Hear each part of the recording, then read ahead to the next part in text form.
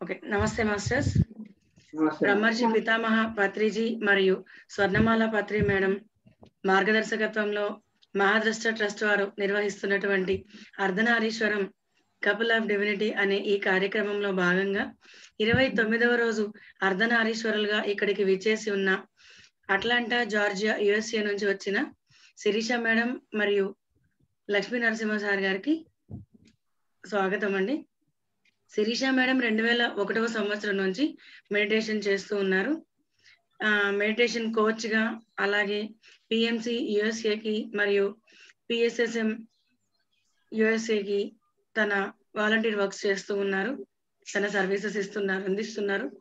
అలాగే లక్ష్మీ నరసింహ సార్ గారు two years నుంచి లాస్ట్ టూ ఇయర్స్ నుంచి మెడిటేషన్లోకి వచ్చారు మెడిటేషన్ చేస్తూ ఉన్నారు. అలాగే పిఎంసి యుఎస్ఏకి తన సపోర్ట్ని ఇస్తూ ఉన్నారు. Welcome sir welcome madam over to Sumalatha madam thank you Karunya గారు thank you very much thank you friends అందరికీ నమస్కారం. ఈరోజు మనం లక్ష్మీ నరసింహారావు గారిని శిరీష మేడంని మనం ఇంటర్వ్యూ చేసుకుంటున్నాము. సార్ అండ్ మేడం ఇంటర్వ్యూ చేయడానికి అనుమతిస్తున్నారా ఎస్ మేడం ఓకే అండి. సార్ ఆ, మన మీ యొక్క చిన్ననాటి జీవితం గురించి మీరు ఎక్కడ పుట్టారు? లైఫ్ ఎలా గడిచింది చిన్నప్పుడు అంతా ఆ వివరాలన్నీ తెలియజెప్పరా? షూర్ అండి.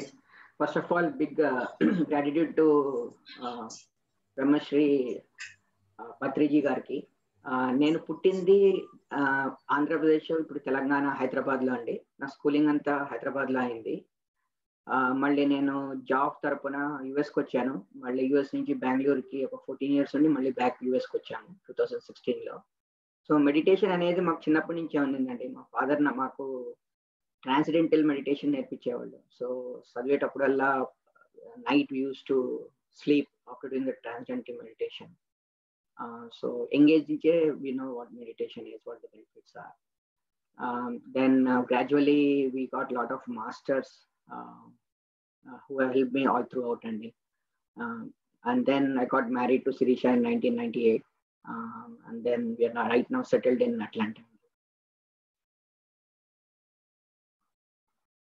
Madam మీరు చెప్పండి మీ చిన్ననాటి జీవితం గురించి ముందుగా విశ్వగురువులైన బ్రహ్మశ్రీ పితామహ పత్రి గారికి మరియు స్వర్ణమాల పత్రి మేడంకి శతకోటి వందనాలు చూసే ప్రేక్షకులందరికీ కూడా నా ఆత్మ- ఆత్మాభివందనాలు వనలత మేడంకి నమస్కారం.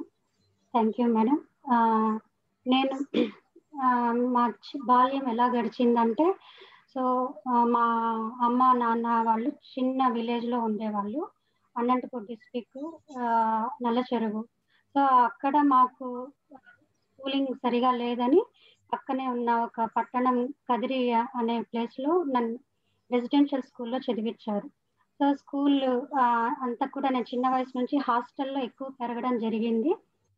మా మదర్ నన్ను అక్కడ వదిలినప్పుడు అమ్మ నువ్వు చదువుకోవాలి హాలిడేస్లో వచ్చి తీసుకెళ్తాము అని వదిలి వెళ్ళారు. అక్కడ ఫస్ట్ టైం అమ్మ వదిలి వెళ్తున్నా కూడా నేను ఎప్పుడు కూడా ఏడవలేదు. హ్యాపీగా ఓకే నేను బాగా చదువుకొని వస్తాను అని చెప్పి అమ్మకి బాగా చెప్పాను అనమాట సో మా హాస్టల్ వార్డన్ ఎంతో మురిసిపోయింది నన్ను చూసి. ప్రతి ఒక్కరు వాళ్ళ పేరెంట్స్ అక్కడ వదిలి వెళ్తూ ఉంటే ఏడుస్తూ ఉంటారు. అయితే నన్ను చూపించి మేడం చెప్పేవారనమాట తను ఏడవలేదు. తను ఎంత బాగా సెండ్ ఆఫ్ చేసింది వాళ్ళ పేరెంట్స్ని అని మా వార్డెన్ నన్ను ఎప్పుడు మెచ్చుకుంటూ ఉండేవాళ్ళు అనమాట సో చిన్నప్పటి నుంచే అంటే న్యాచురల్గా ఒక అటాచ్మెంట్లోనే డిటాచ్మెంట్ అనేది నేర్చుకున్నాను అని చెప్పొచ్చు. మళ్ళీ నేను నెక్స్ట్ స్టడీస్ సెవెంత్ స్టాండర్డ్లో ఉన్నప్పుడు చిత్తూరుకి వెళ్ళడం జరిగింది. One year Maharishi Vidya school. So అక్కడ మెడిటేషన్ ఇంట్రడ్యూస్ చేశారు ఒక మంత్రంతో. సో స్కూల్ స్టార్ట్ అయ్యేటప్పుడు ఆ మంత్రాన్ని అది పర్సనల్గా మంత్రం ఇచ్చేవాళ్ళు మనకి. అది ఎవరికి చెప్పకూడదు అది మెడిటేషన్ చేయాలా అని మనకు చెప్పారన్నమాట. సో ఆ టైంలో అలా మెడిటేషన్ స్టార్ట్ చేయడం జరిగింది. బట్ అయితే అప్పుడు మరి ఆ వయసులో తెలియలేదు.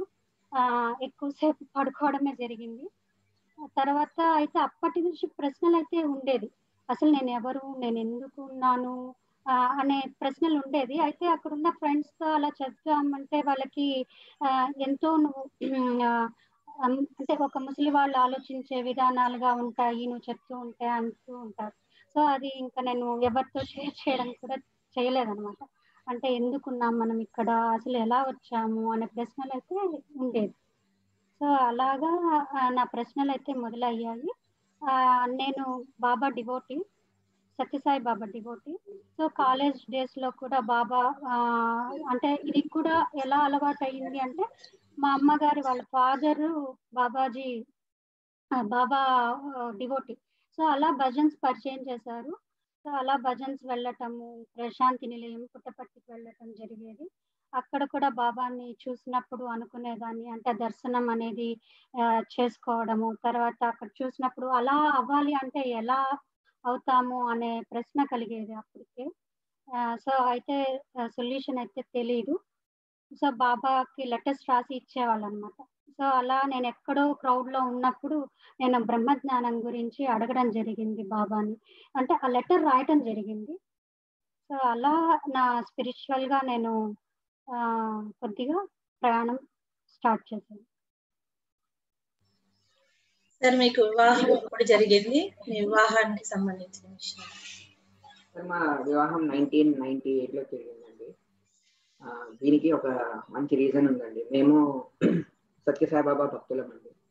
మా చిన్నప్పటి నుంచి చెప్పాను కదా we are guided by lot of masters like my parents మళ్ళీ సత్యసాయిబాబా గారు సిద్ధి సాయిబాబా చాలా చాలా ఇంటిమేట్ రిలేషన్షిప్ సో ఇద్దరికి మ్యాచ్ అయిన వాళ్ళకి సాయిబాబా బాగా నచ్చుతారు నాకు బాగా ఇంట్రెస్ట్ కాబట్టి దాని ద్వారా చూసి పెళ్ళి చేసుకున్నాను ఆ, మీరు ధ్యానంలోకి ఎప్పుడు వచ్చారు? ఎవరు ముందుగా వచ్చారు? ఆ, నేను టూ థౌజండ్ వన్లో ధ్యానానికి రావటం జరిగింది. సో ఎలా వచ్చాను అంటే నేను యాక్చువల్గా దానికి ముందు కొద్దిగా చెప్పాలి నా హెల్త్ ఇష్యూస్ గురించి. నాకు అలర్జీ కోల్డ్ ఎప్పుడు స్నీజెస్ ఉండేది సో సీజన్ మారితే బాగా స్నీజెస్ సో అట్లా ఉండే టైంలో చాలా మెడికేషన్ పైన ఉండేదాన్ని. ఇంకా కోల్డ్కి టాబ్లెట్స్ వేసుకుంటే కొంచెం డ్రౌజీగా ఉండేది. బాగా నిద్ర వచ్చేది. సో అంటే నేను బ్యాచిలర్గా ఉన్నప్పుడు నాకు ఇవేమి అడ్డం రాలేదు. సో కోల్డ్ వచ్చినా నాకు స్టడీస్కి అడ్డం రాలేదు. అయితే నా వర్క్స్కి అర్థం రాలేదు. ఎప్పుడైతే పెళ్ళి అయ్యాక నాకు ఒక బేబీ వచ్చాక one and half year baby so అప్పుడు కోల్డ్ వచ్చినప్పుడు నాకు అర్థమైంది నేను నన్ను నేను చూసుకోలేకపోతున్నాను నా బేబీని నేను ఎలా చూసుకుంటాను? నాకు చాలా ఇష్టం చిన్నపిల్లలు అంటే అలాంటిది నేను ఎక్కడున్న చిన్నపిల్లల్ని తెచ్చి ఆ- ఆడుకునేదాన్ని చిన్నప్పుడు. అలాంటి నాకు బిడ్డ పుడితే ఆ బిడ్డతో నేను ఎంజాయ్ చేయలేకపోతున్నాను. నాకు కోల్డ్ అంతా నన్ను ఇబ్బంది పెడుతోంది. నేను ఏమి చేయలేకపోతున్నాను అనే ఫీలింగ్స్ అప్పుడు స్టార్ట్ అయింది. సో నేను ఎప్పుడు కూడా ఒక అంటే ఒక దేవుణ్ణి ప్రార్థన అయితే చేశాను కానీ ఎప్పుడు కోరిక అని ఎప్పుడు కోరలేదు. అయితే ఫస్ట్ టైం నేను దేవుని ముందు నిల్చొని బాబాని అడిగాను. బాబా మనకి ఎప్పుడు టీచ్ చేసే దాంట్లో లవాల్ లవాల్ సవాల్ అని చెప్తూ ఉంటారు. అయితే బాబా నేను నాకు నాకు చాలా ఇష్టం సర్వీస్ అంటే. సో నా- నేను నేను ఇలా ఉన్నాను. నా ఫిజికల్ కండిషన్ ఇలా ఉంది నేను ఎలా నేను ఇతరులకు చేయగలుగుతాను దీనికి సొల్యూషన్ కావాలి నాకు అని ఒక ప్రార్థన అయితే చేశాను. సో అది చేసిన వెంటనే ఒక సెవెన్ డేస్కి నాకు ఒక బుక్ ఆనాపానసతి బుక్ పోస్ట్ ద్వారా మా మేనమ్మ అమ్మ నాకు పోస్ట్ చేశారు. అప్పుడు జనవరి ఫస్ట్కి గ్రీటింగ్ కార్డ్స్ పోస్ట్ చేసేవాళ్ళు. సో మా అమ్మ మెడిటేషన్కి రావటం వల్ల ఈ బుక్స్ అందరికీ పోస్ట్ చేశారు అన్నమాట సో నేను ఖచ్చితంగా ప్రార్థన చేసిన సెవెన్ డేస్కి ఆ బుక్ అందడం జరిగింది. ఆ బుక్ చూడగానే పత్రిజీది ఆనాపానసతి చాలా సింపుల్గా ఉంది. సో ఆ బ్యాక్ ఎండ్ అయితే సార్ చాయ్ తాగినంత సులువు ధ్యానం అంటే అని అన్నారు. నాకు అప్పటికే భక్తి మార్గంలో ఉండటం వల్ల ధ్యానము కొంచెం అలాంటి అభిరుచులు ఉండటం వల్ల వెంటనే నా ఆ బుక్ తీసి చదవడం జరిగింది. సో అది చదివిన వెంటనే నేను ధ్యానానికి కూర్చోవడం జరిగింది. డే వన్నే ఆ మెడిటేషన్ కూర్చున్నాను. అప్పుడు ఆ ఎనర్జీస్ బ్రహ్మరంధ్రం ద్వారా రావటం ఫీల్ అయ్యి మొత్తం నర్వస్ సిస్టమ్లో ఎనర్జీ ఫ్లో జరగడం జరిగింది. అంతకుముందు ఆక్యుపంచర్ ట్రీట్మెంట్ కని వెళ్ళాను కోల్డ్కి. సో డాక్టర్ ఎక్కడైతే నీడిల్స్ పంచ ఇలా పనిచేసి వాళ్ళు ఎనర్జీస్ని ఇస్తారో సో సేమ్ అక్కడ నాకు నీడిల్ పెట్టకుండానే ఎనర్జీస్ అక్కడ ఫ్లో అవ్వటం జరిగింది. అబ్బా ఎంత హ్యాపీగా ఉంది మెడిటేషన్లో ఎంత ఎనర్జీ ఫ్లో సో డాక్టర్ దగ్గరకు పోతే పెయిన్ ఒకటి నాకు టైం వేస్ట్ ఒకటి బెంగళూరులో ఉన్నాం అప్పుడు. సో బాబుని వదిలి వెళ్ళే స్టేట్లో కూడా లేను. సో బాబుని వదిలి వన్ అండ్ హాఫ్ అవర్ వెళ్ళి డాక్టర్ దగ్గరికి వెళ్ళి రావాలి. సో ధ్యానంలో నేను కూర్చున్న ఫస్ట్ డేనే ఇలా వచ్చేటప్పటికి నాకు చాలా కాన్ఫిడెన్స్ వచ్చింది. నన్ను నేను హీల్ చేసుకోగలను అనే చాలా కాన్ఫిడెన్స్ పెరిగింది. ఇంకా నేను అప్పటి నుంచి ధ్యానం వదలలేదు. ఇప్పటి వరకు కూడా ధ్యానం వదలలేదు. అప్పటి నుంచి మొదలు పెట్టిన నేను ఒక బుక్ ద్వారా ప్రయాణం జరిగింది. సార్ మీరు చెప్పండి మీకు ఎలా పరిచయం మీ వాయిస్ రావట్లేదు సార్. ఇప్పుడు ఓకేనండి ఆ, ఆ, నేను చిన్నప్పటి నుంచి కొంచెం వాయిస్ పెంచి మాట్లాడండి. నేను చిన్నప్పుడే ట్రాన్స్జెన్షియల్ మెడిటేషన్ అని చేసేవాళ్ళం అండి ఫాదర్తో సో దాంట్లో బెనిఫిట్స్ చాలా వచ్చాయి చిన్నప్పుడు. మళ్ళీ బిజీ అయిపోయి కొంచెం దాని మీద కాన్సన్ట్రేట్ చేయలేదు. శిరీష చెప్పినట్టు నేను తనలో చాలా ట్రాన్స్ఫర్మేషన్ చూశానండి. Not only materialistically but spiritually also one ఇప్పుడు చెప్పినట్టు జలుబు చాలా ఉండేది ఎలర్జీ ఉండేది. ఎప్పటి నుంచి మెడిటేషన్ మొదలు పెట్టిందో వితౌట్ టాబ్లెట్ క్యూర్ అయింది. సో నేను ప్యాసివ్గా వింటూ ఉంటాను అనమాట శిరీష చెప్పేది నేటివి లైక్ సార్ చెప్పిన మెసేజెస్ స్పిరిచువాలిటీ మీద ప్యాసివ్గా తీసుకుంటూ ఉంటాను అనమాట నాకు చాలా బెనిఫిట్స్ వచ్చాయి. సో నేను ఏం ఇవన్నీ ఇంటూ మళ్ళీ స్లోగా మెడిటేషన్ చేస్తూ ఉంటే నా విజువలైజేషన్ అయ్యేదన్నమాట. విజువలైజేషన్ అయ్యేది మేనిఫెస్ట్ అయ్యేదన్నమాట. అమెరికాకి రావడం కూడా నేను విజువలైజ్ చేసుకున్నా మేనిఫెస్టో అయింది. అట్లాంటా కోసం అనుకున్నా అట్లాంటా అయింది. సో చాలా బెనిఫిట్స్ ఉన్నాయండి. మెటీరియలిస్టిక్లీ బెనిఫిట్స్ ఉన్నాయి స్పిరిచువల్లీ బెనిఫిట్స్ ఉన్నాయి. లాస్ట్ టూ ఇయర్స్ నుంచి ఆ, శిరీషతోని ఇక్కడ ఉన్న టీమ్ తోని చాలా చాలా యాక్టివిటీస్లో పార్టిసిపేట్ చేస్తున్నాను. మెడిటేషన్ రెగ్యులర్గా చేస్తున్నాను. సో బెనిఫిట్స్ చాలా వచ్చాయండి. Be it at job family or wherever it's been fantastic ధ్యానానికి ముందు మీ జీవితం ధ్యానం తర్వాత మీ జీవితం ఎలా ఉందో వివరించండి. ధ్యానానికి ముందు ఎక్కువ మెరి మెటీరియలిస్టిక్ లైఫ్ మీద ఫోకస్ చేసేవాడిని అండి ఎలా జాబ్లో బాగా ప్రోగ్రెస్ అవ్వాలి how to make money other things lot of materialistic things but స్పిరిచువాలిటీకి వచ్చాక ఐ చేంజ్ మై ప్యూర్ట్ అనమాట మెటీరియలిస్టిక్ లైఫ్ నుంచి స్పిరిచువల్ లైఫ్కి. సో స్పిరిచువల్ లైఫ్లో త్రీ ఇంపార్టెంట్ థింగ్స్ అండి. One inner peace second balance your life third progress towards your spirituality that will take care of all your materialistic needs అండి. So అది realise అయ్యాక I been spending more on spiritual matters then నేను నేను మేము స- సత్యసాయిబాబా భక్తులం అండి so అతను speech వినడము మళ్ళీ మెడిటేషన్ చేయడము శిరీషతో పార్టిసిపేట్ చేయడం యాక్టివిటీస్. నా లైఫ్ చేంజ్ అయిందండి. మోర్ పీస్ ఇన్నర్ పీస్ చాలా ఉంది. బ్యాలెన్స్డ్ అప్రోచ్ అన్నిటికీ. సో ఇవన్నీ చేసేవారికి నేను మెటీరియలిస్ట్ లైక్ మెటీరియలిస్టిక్ లైఫ్ మీద ఫోకస్ చేయకపోయినా కానీ అవి రియలైజ్ అవుతున్నాయి అనమాట సో నేర్చుకుంది ఏంటంటే we need to be spiritual balance and materialistic life will come as usual అనమాట దానికి అదే వచ్చేస్తుంది. So just peace of mind madam మీరు చెప్పండి. సో ధ్యానానికి ముందు అంటే నేను చాలా అర్లీ ఏజ్లోనే మ్యారేజ్ అవ్వడం అంటే ఆఫ్టర్ గ్రాడ్యుయేషన్ మ్యారేజ్ అవడం జరిగింది. సో నా స్టడీస్ అంతా కూడా ముందుగా చెప్పినట్టు హాస్టల్ లైఫ్ ఎక్కువ ఉండటము. సో ఫ్రెండ్స్తో అడ్జస్ట్మెంట్ అనేది చాలా బాగా నేర్చుకున్నాను. సో చాలా అసలు ఎక్కడికి వెళ్ళినా నాకు కంఫర్ట్ జోన్ ఉండేదన్నమాట. అంటే నేను నేను క్రియేట్ చేసుకోగలిగాను. అది సో కుల మత భేదం ఏదీ లేదు. హ్యాపీగా అందరితోనూ నేను ఉండిపోయేదాన్ని. సో నాకు అందరితో ఆనందంగా కలవటం అనేది చాలా ఇష్టం. చాలా ఇష్టం. కల్ కలుపుకోవటం అనేది ఇష్టం. సో ధ్యానానికి ధ్యానం ఒక్కటి లేదు. చెప్పాలి అంటే యాక్చువల్గా నేను తిరుపతి పద్మావతి కాలేజ్లో చదివాను. పత్రి గారు అప్పుడు కూడా వచ్చి క్లాస్ తీసుకున్నారు అని విన్నాను. కానీ ఆ క్లాస్ నేను మిస్ అయ్యాను. ఫ్రెండ్ ద్వారా తెలిసింది. ఆ రోజు నేను కాలేజీకి వెళ్ళలేదు. సో అందుకు నేను మిస్ అయ్యాను. అయితే ఎప్పుడు మనకు యూనివర్స్ ఎప్పుడు మన చేతికి ఇవ్వాలో అప్పుడు కరెక్ట్గా ఇస్తుంది. ఎప్పుడైతే నేను చెప్పాను కదా నాకు కోల్డ్ ఇష్యూస్ వల్ల. సో మ్యారేజ్ అయ్యాక నాకు అర్థమైంది. అంటే బిఫోర్ మన మైండ్ అక్కడున్న పేరెంట్స్ సో పేరెంట్స్ దగ్గర పెరగటము సో అక్కడ హాస్టల్లో పెరగటము అలా ఒక మన మైండ్ ఎంతో ఎంతో నాకు చెప్పాలి అంటే ఎంతో నేను స్వచ్ఛతగా ఉన్నాను అనేదే ఉండింది. ఎప్పుడైతే మ్యారేజ్ అయ్యాక నా ఫిజికల్ బాడీలో కొంచెం కోల్డ్ మొదలయ్యి సో నెక్స్ట్ నెక్స్ట్ స్టేజెస్కి వెళ్ళేటప్పుడు కొంచెం అప్పుడు నా మైండ్ డ్రాప్ అవుతా వచ్చింది. సో నేను ఏం చేసుకోలేకపోతున్నాను నేను చెయ్యలేను అనేటివి బాగా మొదలయ్యాయి. అంటే నా ఫ్యామిలీకి నేను చేసుకోలేకపోతున్నాను అంటే నా మీద నాకు కోపం వచ్చేది.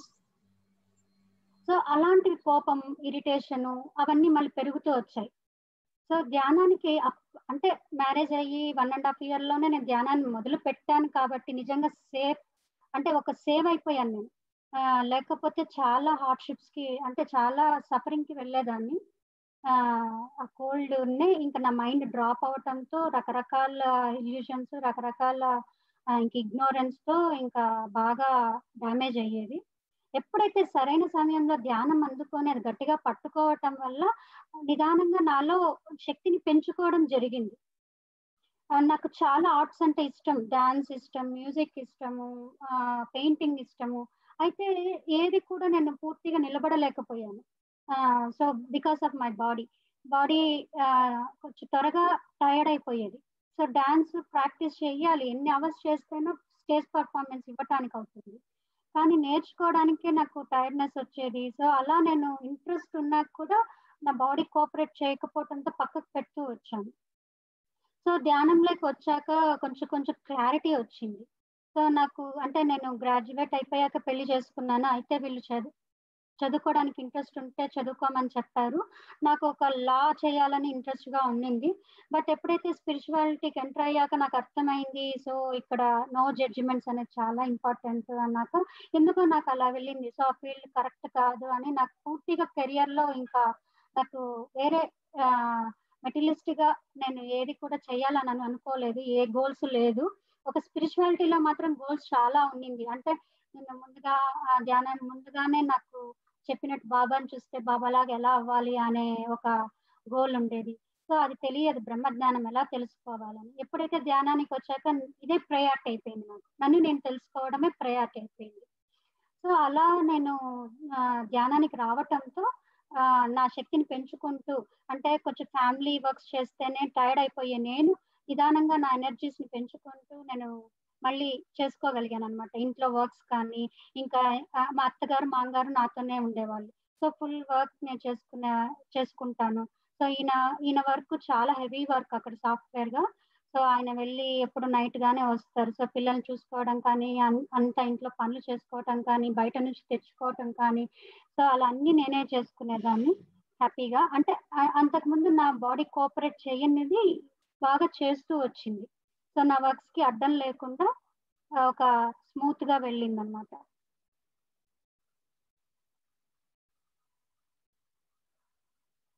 మీరు సాయిబాబా అని చెప్తున్నారు. సార్ చెప్పినట్టు సత్య సాయిబాబానా షిరిడి సాయిబాబా సాయిబాబా. సత్య సాయిబాబానా? ఇద్దరు Sathya Sai Baba devotees. Okay okay.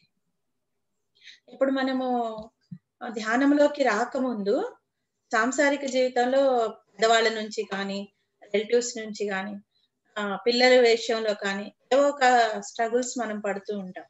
Challenges ఉంటూ ఉంటాయి.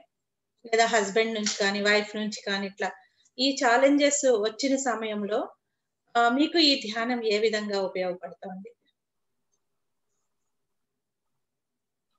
స్ట్రగుల్స్ అని ఏం లేదండి. ఛాలెంజెస్ ఏం లేదు. నాకు ఇండియాలో ఉన్నప్పుడు చాలా చాలా బిజీగా ఉండేవాడు వర్క్తో పొద్దున వెళ్ళి నైట్ వచ్చేవాడిని.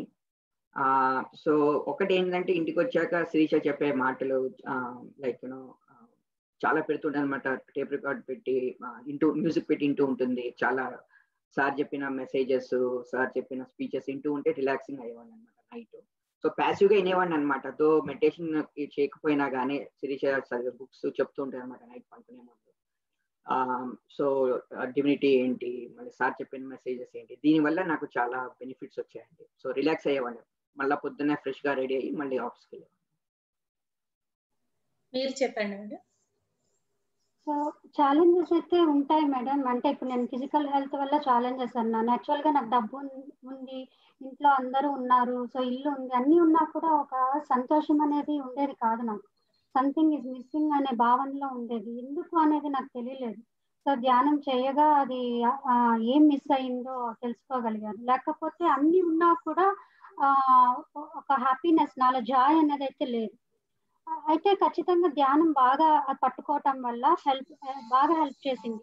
సో ఇప్పుడు పిల్లలు పిల్లల విషయంలో చాలా మంది పేరెంట్స్ సో ఇప్పుడు వాళ్ళు ఎయిత్ గ్రేడ్ నైన్త్ గ్రేడ్ వస్తూనే సో కాలేజెస్ ఎలా సో ఎలా అప్లై చేసుకోవాలి ఎలా స్కూల్స్ ఏది నెంబర్ వన్ స్కూల్ అని చాలా చాలా ఇన్ఫర్మేషన్ తెచ్చుకునేవాళ్ళు.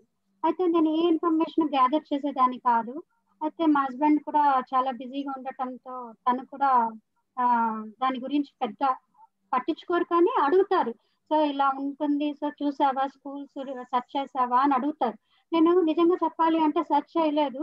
కానీ ఎలా జరిగాయి ఎలా మేనిఫెస్ట్ అయ్యాయి అంటే కరెక్ట్గా అంత సెర్చ్ చేయకపోయినా టూ డేస్ బిఫోర్ నా ఫ్రెండ్స్ చెప్పుకుంటారు దీనికి అప్లై చేయండి ఇది స్కూల్ మంచిది ఇది క్లోజ్ అయిపోతా ఉంది సో కరెక్ట్గా ఆ టైంలో నేను వెళ్ళి చెప్తాను ఏంటి ఇది బాగుంది ఇది అప్లై చేద్దాము ఈ స్కూల్ బాగుందని విన్నాను వచ్చేసేది ఈజీగా. అంటే దానికోసం కూర్చొని నేను తదేకంగా ఎప్పుడు రీసెర్చ్ చేయలేదు. ఇలాంటివన్నీ కూడా నాకు చాలా సులభంగా జరిగేవి.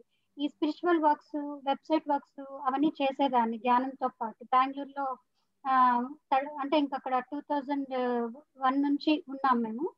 మళ్ళీ మధ్యలో అమెరికాకి వచ్చి మళ్ళీ టూ థౌజండ్ త్రీ బ్యాక్ వెళ్ళి సో త్రీ నుంచి కూడా ఆ పీరియడ్ అంతా కూడా బెంగళూరులో ఉండటం జరిగింది. టూ థౌజండ్ త్రీ నుంచి సెవెంటీన్ వరకు. ఆ ఇయర్స్లో నేను అక్కడ పైమా అప్పుడు అప్పుడే స్టార్ట్ అయ్యింది. సో అక్కడ వెబ్సైట్ వర్క్స్ సో అలా నాకు ఏమి కంప్యూటర్ నాలెడ్జ్ లేదండి. సో టీమే నాకు నేర్పించడము సో ఇప్పుడు మీరు తెలుగు వెబ్సైట్లో మీరు చూస్తున్న ప్రతి కంటెంట్ కూడా అప్డేట్ చేయటం మా టీం డ్యూటీ. సో అది చేస్తూ వచ్చానమాట సో నిదానంగా ధ్యాన కస్తూరి రావటం జరిగింది. సో దానికి ఆర్టికల్స్ కలెక్ట్ చేయటము.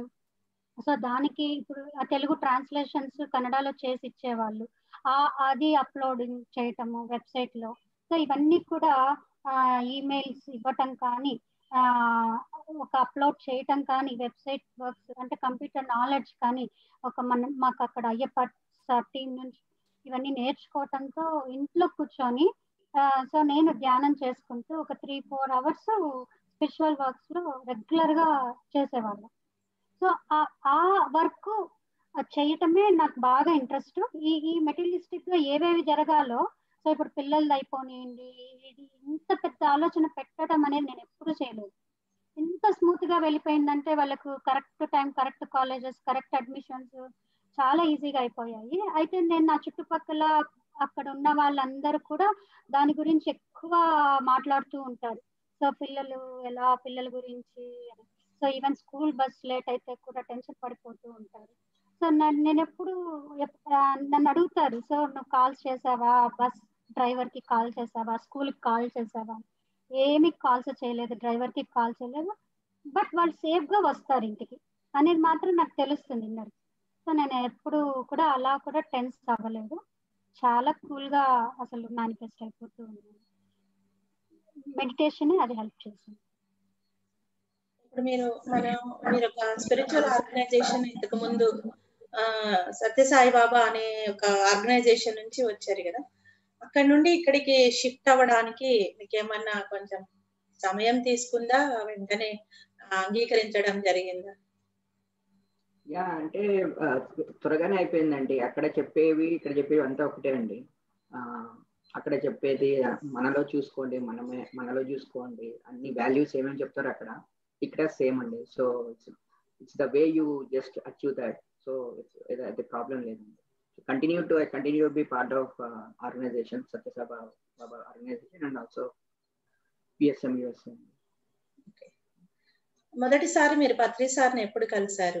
కలిసినప్పుడు మీ అనుభూతులు ఏంటి? నేను almost I think two thousand nine అనుకుంటండి కలిశాను పత్రి సార్ని ఫస్ట్ టైం సో కలిసినప్పుడు సార్ ఇట్లా ఇట్లా అని చెప్పారు. రా బాబు మెల్లిగా రా అంటే మెల్లిగా రా మెల్లిగా చేరు అంటే అప్పుడు అర్థమవుతున్నది అనమాట సో మెల్లిగా లేట్ అయినా కానీ వచ్చానమాట వచ్చి I been enjoying all this benefits madam చెప్పండి. నేను బుక్ ద్వారా వచ్చానని చెప్పాను కదా టూ థౌజండ్ వన్లో. సో ఇన్ని బెనిఫిట్స్ ఇస్తోంది. ఇంట్లో కూర్చొని ఇన్ని బెనిఫిట్స్ నాకు తెలుస్తోంది. ఏ ఆశ్రమానికి వెళ్ళకుండా ఇంత చెప్పిన మాస్టర్ని గురువుని నేను ఎలాగైనా కలవాలి అని అనుకున్నాను. సార్ బెంగళూరుకి వచ్చారు అప్పుడు. టూలో మరి నాకు ఇయర్ గుర్తులేదు. సార్ రావటం జరిగింది. సో అప్పుడు బాబుతోనే నేను వెళ్ బాబుతోనే వెళ్ళి కలవటం జరిగింది సార్ని. నేను మా సిస్టర్ వెళ్ళామన్నమాట. సో పత్రికారిని చూడటము అంటే ఆ గురువుల దగ్గర ఎలా నడుచుకోవాలి ఎలా మాట్లాడాలి అనేది కూడా తెలియదు. నేను సార్కి అదే చెప్పాను. సార్ నాకు ఎలా మాట్లాడాలి తెలియదు సో నేను అంటే నాకు చాలా క్యాజువల్గా మాట్లాడటం మాట్లా మాట్లాడినట్టు మాట్లాడేశాను. సార్ చెప్పాను నేను ఈ బుక్ ద్వారా ధ్యానానికి వచ్చాను ధ్యానం చేసుకుంటున్నాను చాలా బాగుంది. నాకు ఒక డ్రీమ్ వచ్చింది. ఆ డ్రీమ్లో ఇలా నా గురించి నేను చూసుకున్నాను. నా పేరు ఉన్నింది నా వివరాలు ఉన్నాయి సో అన్ని నా గురించే ఉందని ఆ బుక్ క్లోజ్ చేస్తే అక్కడ పత్రిజీ ఫోటో ఉన్నింది ఆ బుక్ కవర్ పేజ్ పైన. అని సార్ చెప్తే మేడం మీరు ఆకాశిక్ రికార్డ్స్ చూసుకున్నారు అని చెప్పారు. సో సార్ని నేను అప్పుడు ఆకాశిక్ రికార్డ్ అంటే ఏమి అని కూడా అడగలేదు. సార్ చెప్పారు ఓకే అన్నాను అంతే. సో ఆకాశిక్ రికార్డ్ గురించి అంటే తెలియలేదు. నాకు మళ్ళీ జస్ట్ ఒక త్రీ ఇయర్స్ బ్యాక్ చెప్పాలి అంటే ఆకాశిక్ రికార్డ్స్ గురించి మళ్ళీ ఎక్స్పీరియన్స్ అయ్యి నేను తెలుసుకోగలిగాను. సార్ అప్పుడు ఫస్ట్ టైం ఇలా కలిసినప్పుడు ఆకాశిక్ రికార్డ్ చూసారు మీరు అని చెప్పారు. సార్ అప్పుడు యశ్వంత్పూర్కి వెళ్ళి క్లాస్ తీసుకుంటాను మాతో జాయిన్ అవ్వండి అన్నారు. వెంటనే అక్కడికి వెళ్ళిపోవడము జరిగింది. సార్ స్పీచ్ అయ్యాక ఎక్స్పీరియన్స్ షేర్ చేయండి అని అడుగుతున్నారు. సో అప్పుడు నన్ను లేపారనమాట సో ఫస్ట్ టైం మళ్ళీ స్టేజ్ దగ్గరికి వెళ్ళటము మైక్లో చెప్పడము. అప్పటి వరకు నాకు ఎలా అయితే బెనిఫిట్స్ వచ్చాయో అవి మాట్లాడగలిగాను. సార్ అప్రిషియేట్ చేశారు. మళ్ళీ అప్పుడు ఉన్నంత ధైర్యం సార్ దగ్గర ఇప్పుడు పక్కన కూర్చోవాలంటే ధైర్యం లేదు. అప్పుడు ఎలా కూర్చున్నానా అని అనిపిస్తుంది.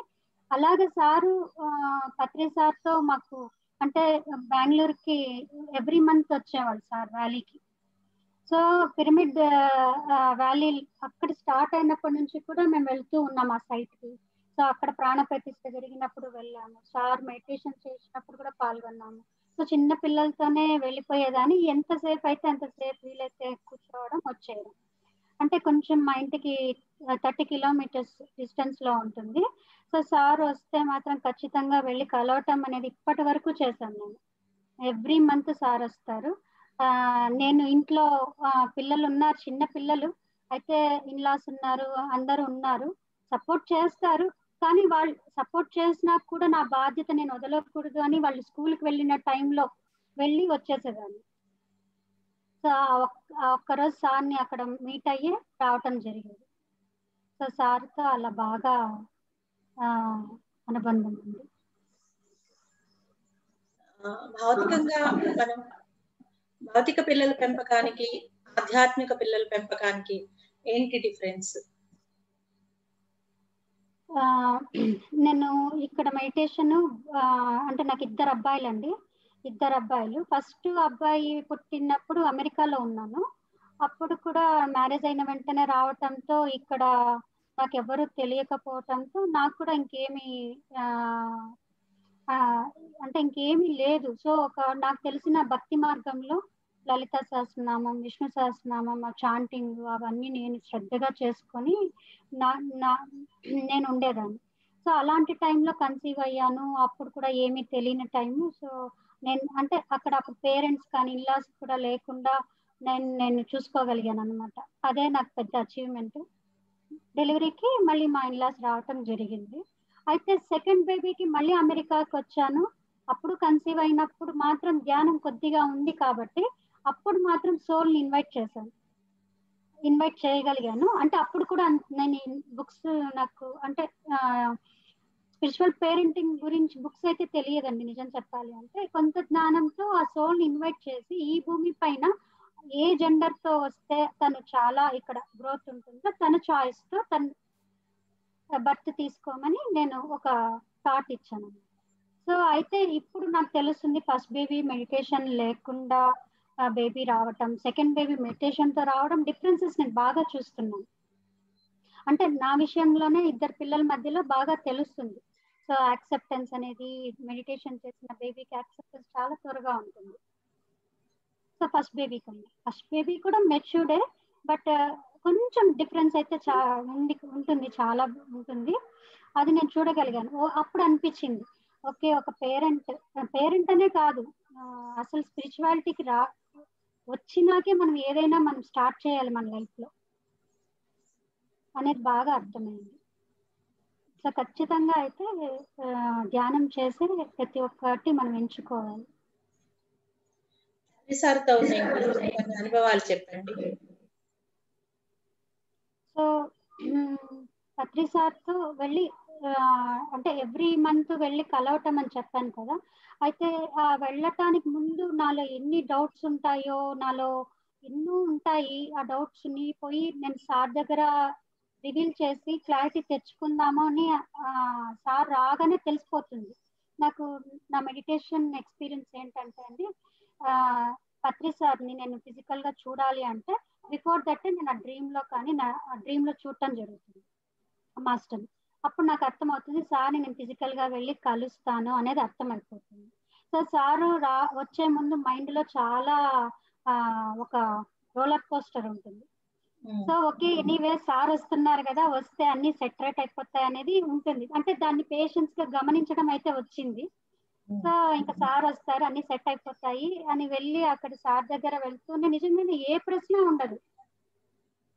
హాయిగా సార్ ప్రెజెన్స్లో ఉండటం అనేది చాలా హ్యాపీగా ఉంటుంది. ఆ ప్రెజెన్స్లో ఉండటము సార్ని సైలెన్స్లో వాచ్ చేస్తూ నేర్చుకోవడం ఉంటుంది. సార్ కూడా మళ్ళీ మాతో క్యాజువల్గా మాట్లాడేవారు. సో ఇంకా అంతకన్నా పెద్ద సంభాషణ ఉండదు కానీ లోపల ఏం జరగాలో అన్ని జరిగిపోయేది సో అలా అలా చాలా నాకు బాగా అనిపించేది. సో ఈ ఈ టైంలో ఈజిప్ట్కి వెళ్ళాల్సి వచ్చింది. సెకండ్ ట్రిప్లో సో అది కూడా ఈజిప్ట్కి వెళ్ళటం అనేది ఒక ఛాలెంజింగ్గా ఉండింది నాకు. ఏమంటే అప్- నేను చిన్నపిల్లలు ఇంకా నాకు.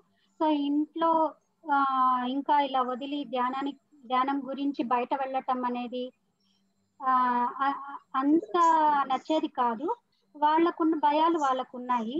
సో అయితే కూడా నేను ఈజిప్ట్కి వెళ్ళాలి అనేది నేను వ్యాలీకి వెళ్ళాక డిసైడ్ చేసుకున్నాను. వ్యాలీకి వెళ్ళాక అయితే సార్ రారు సెకండ్ ట్రిప్లో అని చెప్పారు. అయితే నేను అనుకున్నాను సార్ రాకుండా నేను ఎందుకు ఇప్పుడు వెళ్ళాలనుకుంటున్నాను? సో అది ఎందుకు అని అనుకున్నాను. అప్పుడు ఇంకా చిన్న అక్కడ ఇన్ఫర్మేషన్ సెంటర్ ఇప్పుడు ఉంది కదండి. అక్కడ ఒక చిన్న ఒక స్టాల్ ఉండేదన్నమాట. సో నేను అలా మనసులో అనుకున్నాను. అయితే సార్ అక్కడ వచ్చారన్నమాట. వచ్చి మా చెల్లెల్ని చూసి నేనంటే ఏమనుకున్నావు అని అన్నారు. చెల్లెల్ని చూసి అన్నారు. అయితే నాకు మైండ్లో అది తిరిగింది అనమాట సార్ అన్న సెంటెన్సే నాకు మైండ్లో తిరిగేది. సో నేను అప్పుడు కూడా మా చెల్లెలు వాళ్ళందరూ ఫస్ట్ ట్రిప్ వెళ్ళొచ్చారు. అక్క చెప్పక్క వెళ్తానని చెప్పు సార్తో చెప్పి ట్రిప్కి వెళ్తాను అని చెప్పు అందరూ చెప్తున్నారు. అయితే నాకు అర్థం అవటం లేదు ఫ్యామిలీలో ఎలా అడగాలి ఏంటి అనేది అర్థం అవ్వలేదు. అయితే నేను అడగకుండానే ఇంటికి వెళ్ళిపోయాను. ఇంటికి వెళ్ళిపోయాక నాకు నా లోపల నుంచి అయితే వచ్చింది. లేదు ఎలాగైనా అడగాలి ఇంట్లో పర్మిషన్ అడగాలి నేను ఎలాగైనా వెళ్ళాలి అని చాలా లోపల వస్తే ధైర్యం చేసి అడిగాను. మా మామగారిని అడిగాను ఇలా నాకు మెసేజెస్ వస్తున్నాయి ఈ ట్రిప్కి వెళ్ళాలనుకుంటున్నాను అంటే దాందేముందమ్మా వెళ్ళు అని అన్నారు. మా హస్బెండ్ అడగటానికి కొంచెం కొద్దిగా మొహమాట పడాను ఎందుకంటే తను ఎప్పుడు పిల్లల్ని వదిలి చేయటం అనేది తనకి ఎప్పుడు ఇష్టం ఉండదు. పిల్లల్ని వాళ్ళ అమ్మ వాళ్ళ దగ్గర కూడా వదలటం అనేది చా- ఇష్టమే ఉండదు. అలాంటిది థర్టీన్ డేస్ ఫిఫ్టీన్ డేస్ అంటున్నావు. సో వెళ్ళటం అనేది ఎలా అడగాలి అనేది కూడా నాకు అర్థం అవ్వలేదు. అయితే నా లోపల ఇంట్యూషన్తో నేను గట్టిగా అడగటం జరిగింది. సో అడిగాను. అయితే ఇన్నింటికి ధ్యానము ధ్యాన కార్యక్రమానికి అటెండ్ అవ్వాలి అంటే అంత స్ట్రగుల్ అయి వెళ్ళేదాన్ని ఈజిప్ట్ ట్రిప్ అంటే ఓకే అనేసారు. ఓకే అని బుక్ చేసేసారు. టికెట్స్ అన్ని బుక్ చేసి ఇచ్చేసారు నాకు. నేను పత్రిసారి అంటే ఆ బుక్ చేసే ముందు సార్ కాల్ చేశాను పత్రిసారికి కాల్ చేసి నేను వెళ్ళాలనుకుంటున్నాను సార్ అంటే సార్ ఒక్క మాట అన్నారు. ఇప్పుడు వెళ్తావా మేడం? దీనికోసం ఇంకొక జన్మ తీసుకుంటారా? అని అడిగారు. ఓయమ్మ! అలా తెలియలేదు సో నేను అడగటంలో ఇంత ఉందా అనేది తెలియలేదు సార్ ఎస్ వెళ్ళాలి అన్న అని ఎప్పుడు ఎస్ అన్నారో ఇంట్లో ఇలా అన్ని నాకు బేస్ వచ్చేసి అంటే నాలో ఏవో కొన్ని సంకోచం ఉన్నింది అవన్నీ ఆ పియర్స్ అన్ని కూడా వెళ్ళిపోయి హ్యాపీగా ఈజిప్ట్ ట్రిప్ వెళ్ళాను. సార్ సార్ ఆ వ్యాలీలో అన్న ప్రశ్న నాకు ఈజిప్ట్ ట్రిప్లో తెలిసింది. ఎప్పుడైతే అక్కడ ల్యాండ్ అయ్యానో ఒక ఎనర్జీ ఒక ఎనర్జీ ఫీల్డ్ మా మా చుట్టూ ఆవరించేసింది. ఆ ఎనర్జీ ఎవరితో కాదు సార్ కాన్షియస్నెస్తో ఉన్నానని బాగా అర్థమవుతోంది. అంటే ప్రతి ఒక్క అడుగు సార్ సమక్షంలో జరుగుతోంది అనేది అక్కడ నేను ఎక్స్పీరియన్స్ అవ్వగలిగాను. సో ఫిజికల్గా ఆ ఉండరు అనేది కాదు. ఒక సార్ మనతో ఎప్పుడూ ఉంటారు అనేది ఆ ఈజిప్ట్ ట్రిప్ నాకు చాలా అనుభూతినిచ్చింది. ఇంకా తిరిగి వచ్చే వరకు కూడా మేము ఒక ఆ ఎనర్జీ ఫీల్డ్లో ఉండటం జరిగింది. సో అది చాలా ఆ అద్భుతం. ఇలాంటి ట్రిప్స్ వేసిన సాయి కుమార్ సార్కి కృతజ్ఞతలు తెలుపుకుంటున్నాను. సో సార్ అంటే ఏంటి అనేది నేను అప్పుడు పూర్తిగా అనుభవంలోకి వచ్చాక ఇంకా సారు మనకి గురువుగా ఎప్పుడు కూడా ఏ అటాచ్మెంట్ నేర్పిలేదు. సో అలాగే ప్రయాణం జరిగింది. వండర్ఫుల్ అది ఆ ఎక్స్పీరియన్స్తో నాకు కన్ఫర్మ్గా సో ఎనర్జీ ఇస్ ఎవ్రీవేర్ అనేది బాగా అర్థమైంది. సార్ ప్రజెన్స్ ఎక్కడైనా ఉంటుంది. సార్ మీరు చెప్పండి. మీ యొక్క ధ్యాన ప్రచారం గురించి. సో ఇక్కడ ఇక్కడ యుఎస్కి వచ్చాక కొంచెం టైం ఉందండి నాకు. ఈవినింగ్ అంతా టైం ఉండేది. సో ధ్యాన ప్రచారం ఫస్ట్ ఏంటంటే అట్లాంటాలో పిరమిడ్ కట్టాలని అనుకున్నారు అందరూ. సో నేను ఏం చేశానంటే ఏం టైం ఉన్నప్పుడు ఎలా నేను ప్రొడక్ట్గా యూటిలైజ్ చేయాలనేది మొదలుపెట్టినప్పుడు నాకు థాట్ వచ్చింది అనమాట ల్యాండ్ సర్చ్ చేయొచ్చు కదా నేను అక్కడ నేను సర్చ్ చేసి అందరినీ పిలుచుకోవచ్చు. సో అప్పుడు ఆల్మోస్ట్ సిక్స్ మంత్స్ అండి. రోజు ఎవ్రీ వీకెండ్ వెళ్ళేవాళ్ళం అనమాట ల్యాండ్స్ చూడడానికి పిరమిడ్ కోసం. పిరమిడ్ కట్టడానికి అలా స్టార్ట్ అయింది అనమాట అలా సో నాకు చాలా హ్యాపీగా అనిపించేది. నేచర్ చూడటం చూ చూడడానికి వీలయ్యేది. సో ల్యాండ్ కోసం చాలా ట్రై చేశాను. సార్ వచ్చారు చూపించాను ల్యాండ్స్ సో దాంట్లో బాగా ఆనందం వచ్చేది అనమాట మళ్ళీ లేటర్ ఆన్ ఈ మూమెంట్ శిరీష శ్రీకాంత్ శీతల్ వాళ్ళు కోర్ అన్నమాట. ఫోర్ మెంబర్స్ వాళ్ళతో పోయి పార్క్స్లో పోయి మెడిటేషన్ చేయడము ప్రచారం చెప్పడము. సో ఈ గ్రూప్ సెషన్స్ ఉండడం గ్రూప్ సెషన్స్లో ఇన్వాల్వ్ అవ్వడము. సో ఆ యాక్టివిటీస్లో పార్టిసిపేట్ చేస్తాను. ఓకే మీ యొక్క ఆఫీస్లో అట్లా అంత ప్రచారం అంతా చేసేవారా సార్? యా నాకు తెలిసిన వాళ్ళందరికీ చెప్తానండి. ఇట్లా మెడిటేషన్ సెషన్స్ ఉన్నాయి అన్ని ఫార్వర్డ్ చేయడము. సో అందరికీ చెప్తాను మెడిటేషన్ సెంటర్ మా ఇంట్లో మెడిటేషన్ సెంటర్ ఉందండి సిద్ధార్థ పిరమిడ్ సెంటర్ అని. శ్రీ సార్ వచ్చి ఓపెన్ చేశారనమాట అట్లాంటి సో ఫ్రెండ్స్కి అందరికీ చెప్తూ ఉంటాను ప్రచారం చేస్తాను. శాకాహారం గురించి మీ ఒపీనియన్ చెప్పండి. యా శాకాహారం చిన్నప్పటి నుంచి శాకాహారం అంటే it is like it is the best way to live life అండి.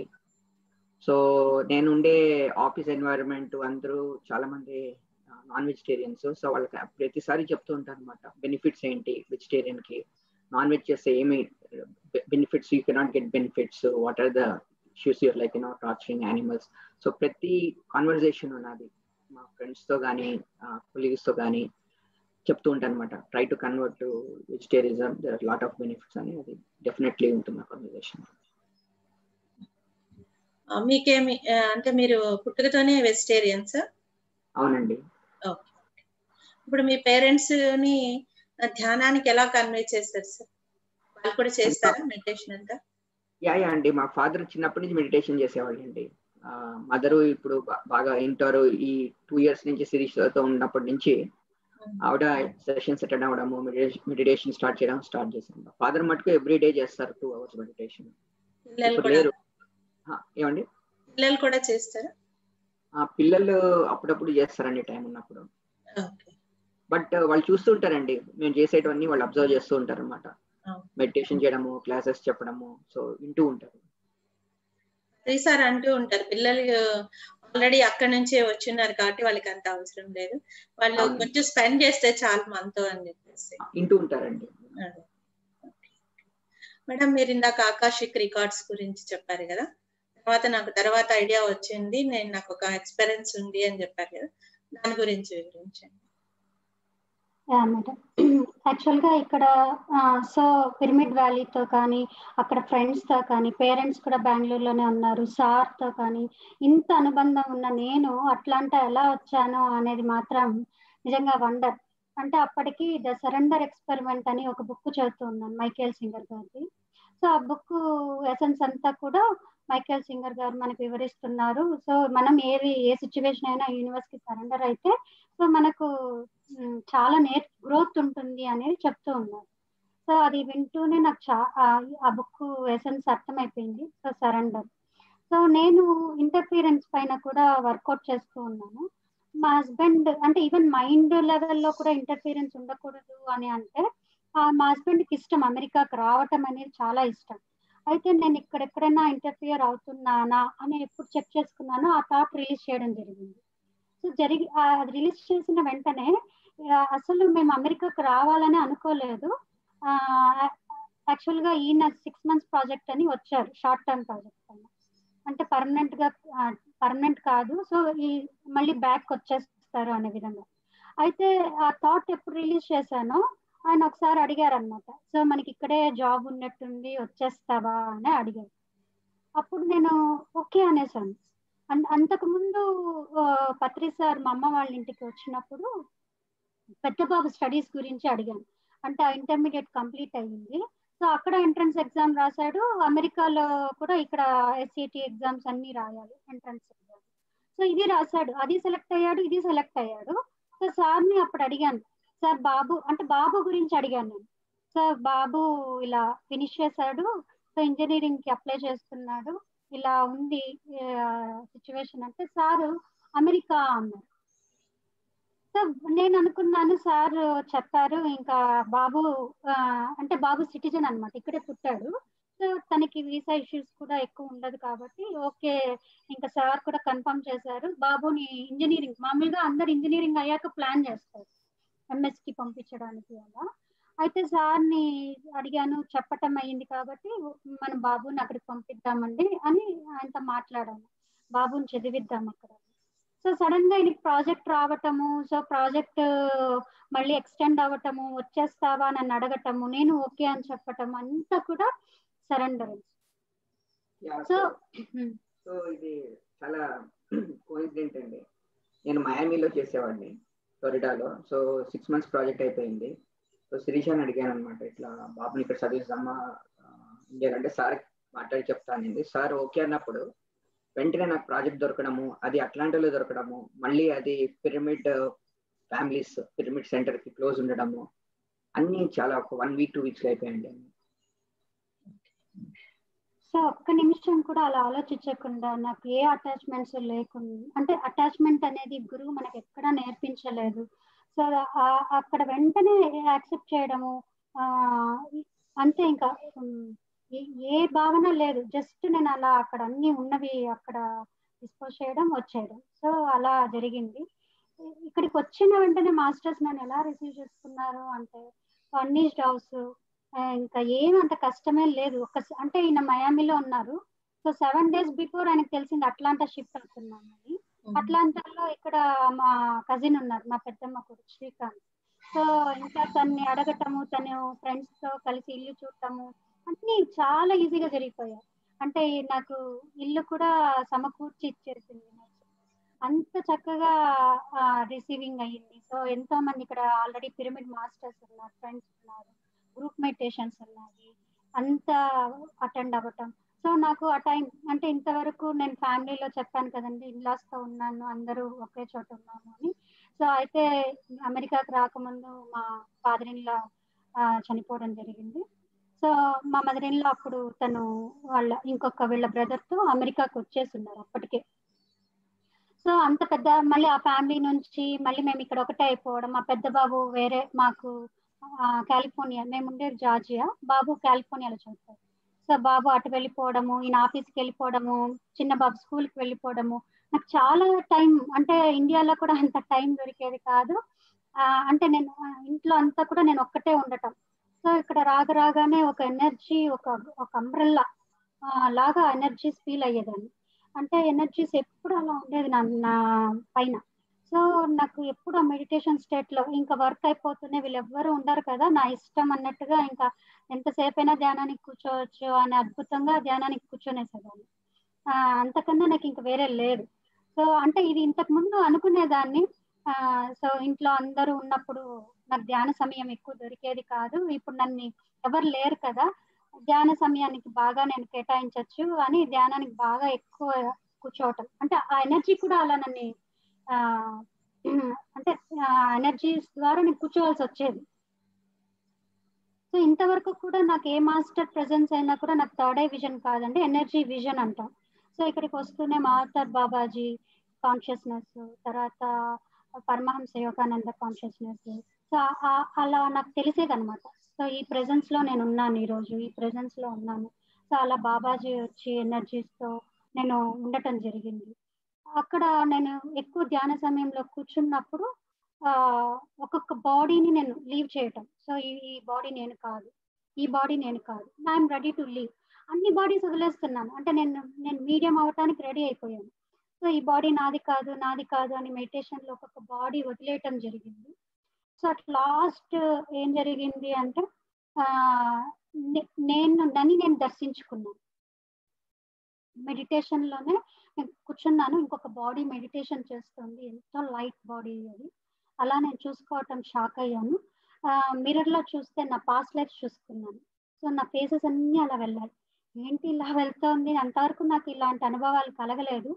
సో ఇలా కలిగినప్పుడు వెంటనే షాక్ అయ్యాను. ఏం జరుగుతోంది? ఏంటి energies so Patri sir call చేసి మాట్లాడాను అనమాట కాల్ చేస్తే సారు టూ మంత్స్ మేడం అంత క్లారిటీ వస్తుంది అన్నమాట సో అప్పుడు ఆ టైంలో నుదిటి పైన రాత అది చేంజ్ అవ్వడం చూసాం. New life. So old akashic record అంతా క్యాన్సిల్ అయిపోయింది. So new akashic record begin అయింది అనమాట అంత వేవ్ ఇలా వెళ్ళటం చూసానండి సో అది నిజంగా వండర్ అనిపించింది. ఆ ఎనర్జీ అలా రావటం అనేది. సో ఆకాశిక్ రికార్డ్ సార్ ఇంతకు ముందు ఏం చెప్పారు అనేది. సో ఏదైతే నేను సార్ని బ్యాక్ పేజ్లో చూసుకున్నాను. మొత్తం కంప్లీట్ నేను ఆల్రెడీ డిజైన్ చేసుకొని వచ్చాను. సో నేను ఈ ప్రణాళికలో ఉంటాను. నేను సార్తో ఉంటాను. ఇది నేను చేస్తాను అని పూర్తిగా నా డిజైన్ని నేను అర్థం చేసుకోవడం అంటే నా పర్పస్ని లైఫ్ ఆఫ్ పర్పస్ని అర్థం చేసుకోవడం తెలిసింది నాకు. అప్పుడు అర్థమైంది. సో అమెరికా కూడా రెండు సార్లు వచ్చి ఇండియాకి వెళ్ళిపోయారు. అది కూడా నాకు మాస్టర్స్ చెప్పారు. అంటే నేను టూ లైఫ్స్ తీసుకొని వచ్చినాను ఈ వర్క్ చేస్తాను అని కానీ చేయకుండా వెళ్ళిపోయాను. సో అది నాకు తెలిపారనమాట ఓకే ఇది మళ్ళీ థర్డ్ టైం అమెరికాకే వచ్చి చెప్పటం అనేది నా పర్పస్ అనేది ఇక్కడ ఉంది కాబట్టి నేను మళ్ళీ ఇక్కడికి రావటం జరిగింది. ఇక్కడ ధ్యాన ప్రచారం నేను విస్తృతంగా చేయటం జరిగింది. సో ఇవన్నీ కూడా అనుభవంలో నాకు వచ్చాయన్నమాట. సో ఒక టూ టైమ్స్ నేను మిస్ అయ్యాను. ఈసారి మిస్ అవ్వకూడదని చాలా పకడ్బందీగా వచ్చాను. డిజైన్ చేసుకొని వచ్చాను. చాలా బాడీలో అలారమ్స్ తెచ్చుకున్నాను అనేది అర్థమైంది. సో అవన్నీ మన ధ్యానం అనేది తెలియకపోతే ఖచ్చితంగా స్ట్రగుల్ సఫరింగ్ అని అంటాము. కానీ ఈ మెడిటేషన్ వచ్చాక సో మన బేస్ ఇది మన అలారం ఇది అని బాగా తెలుసుకున్నాను.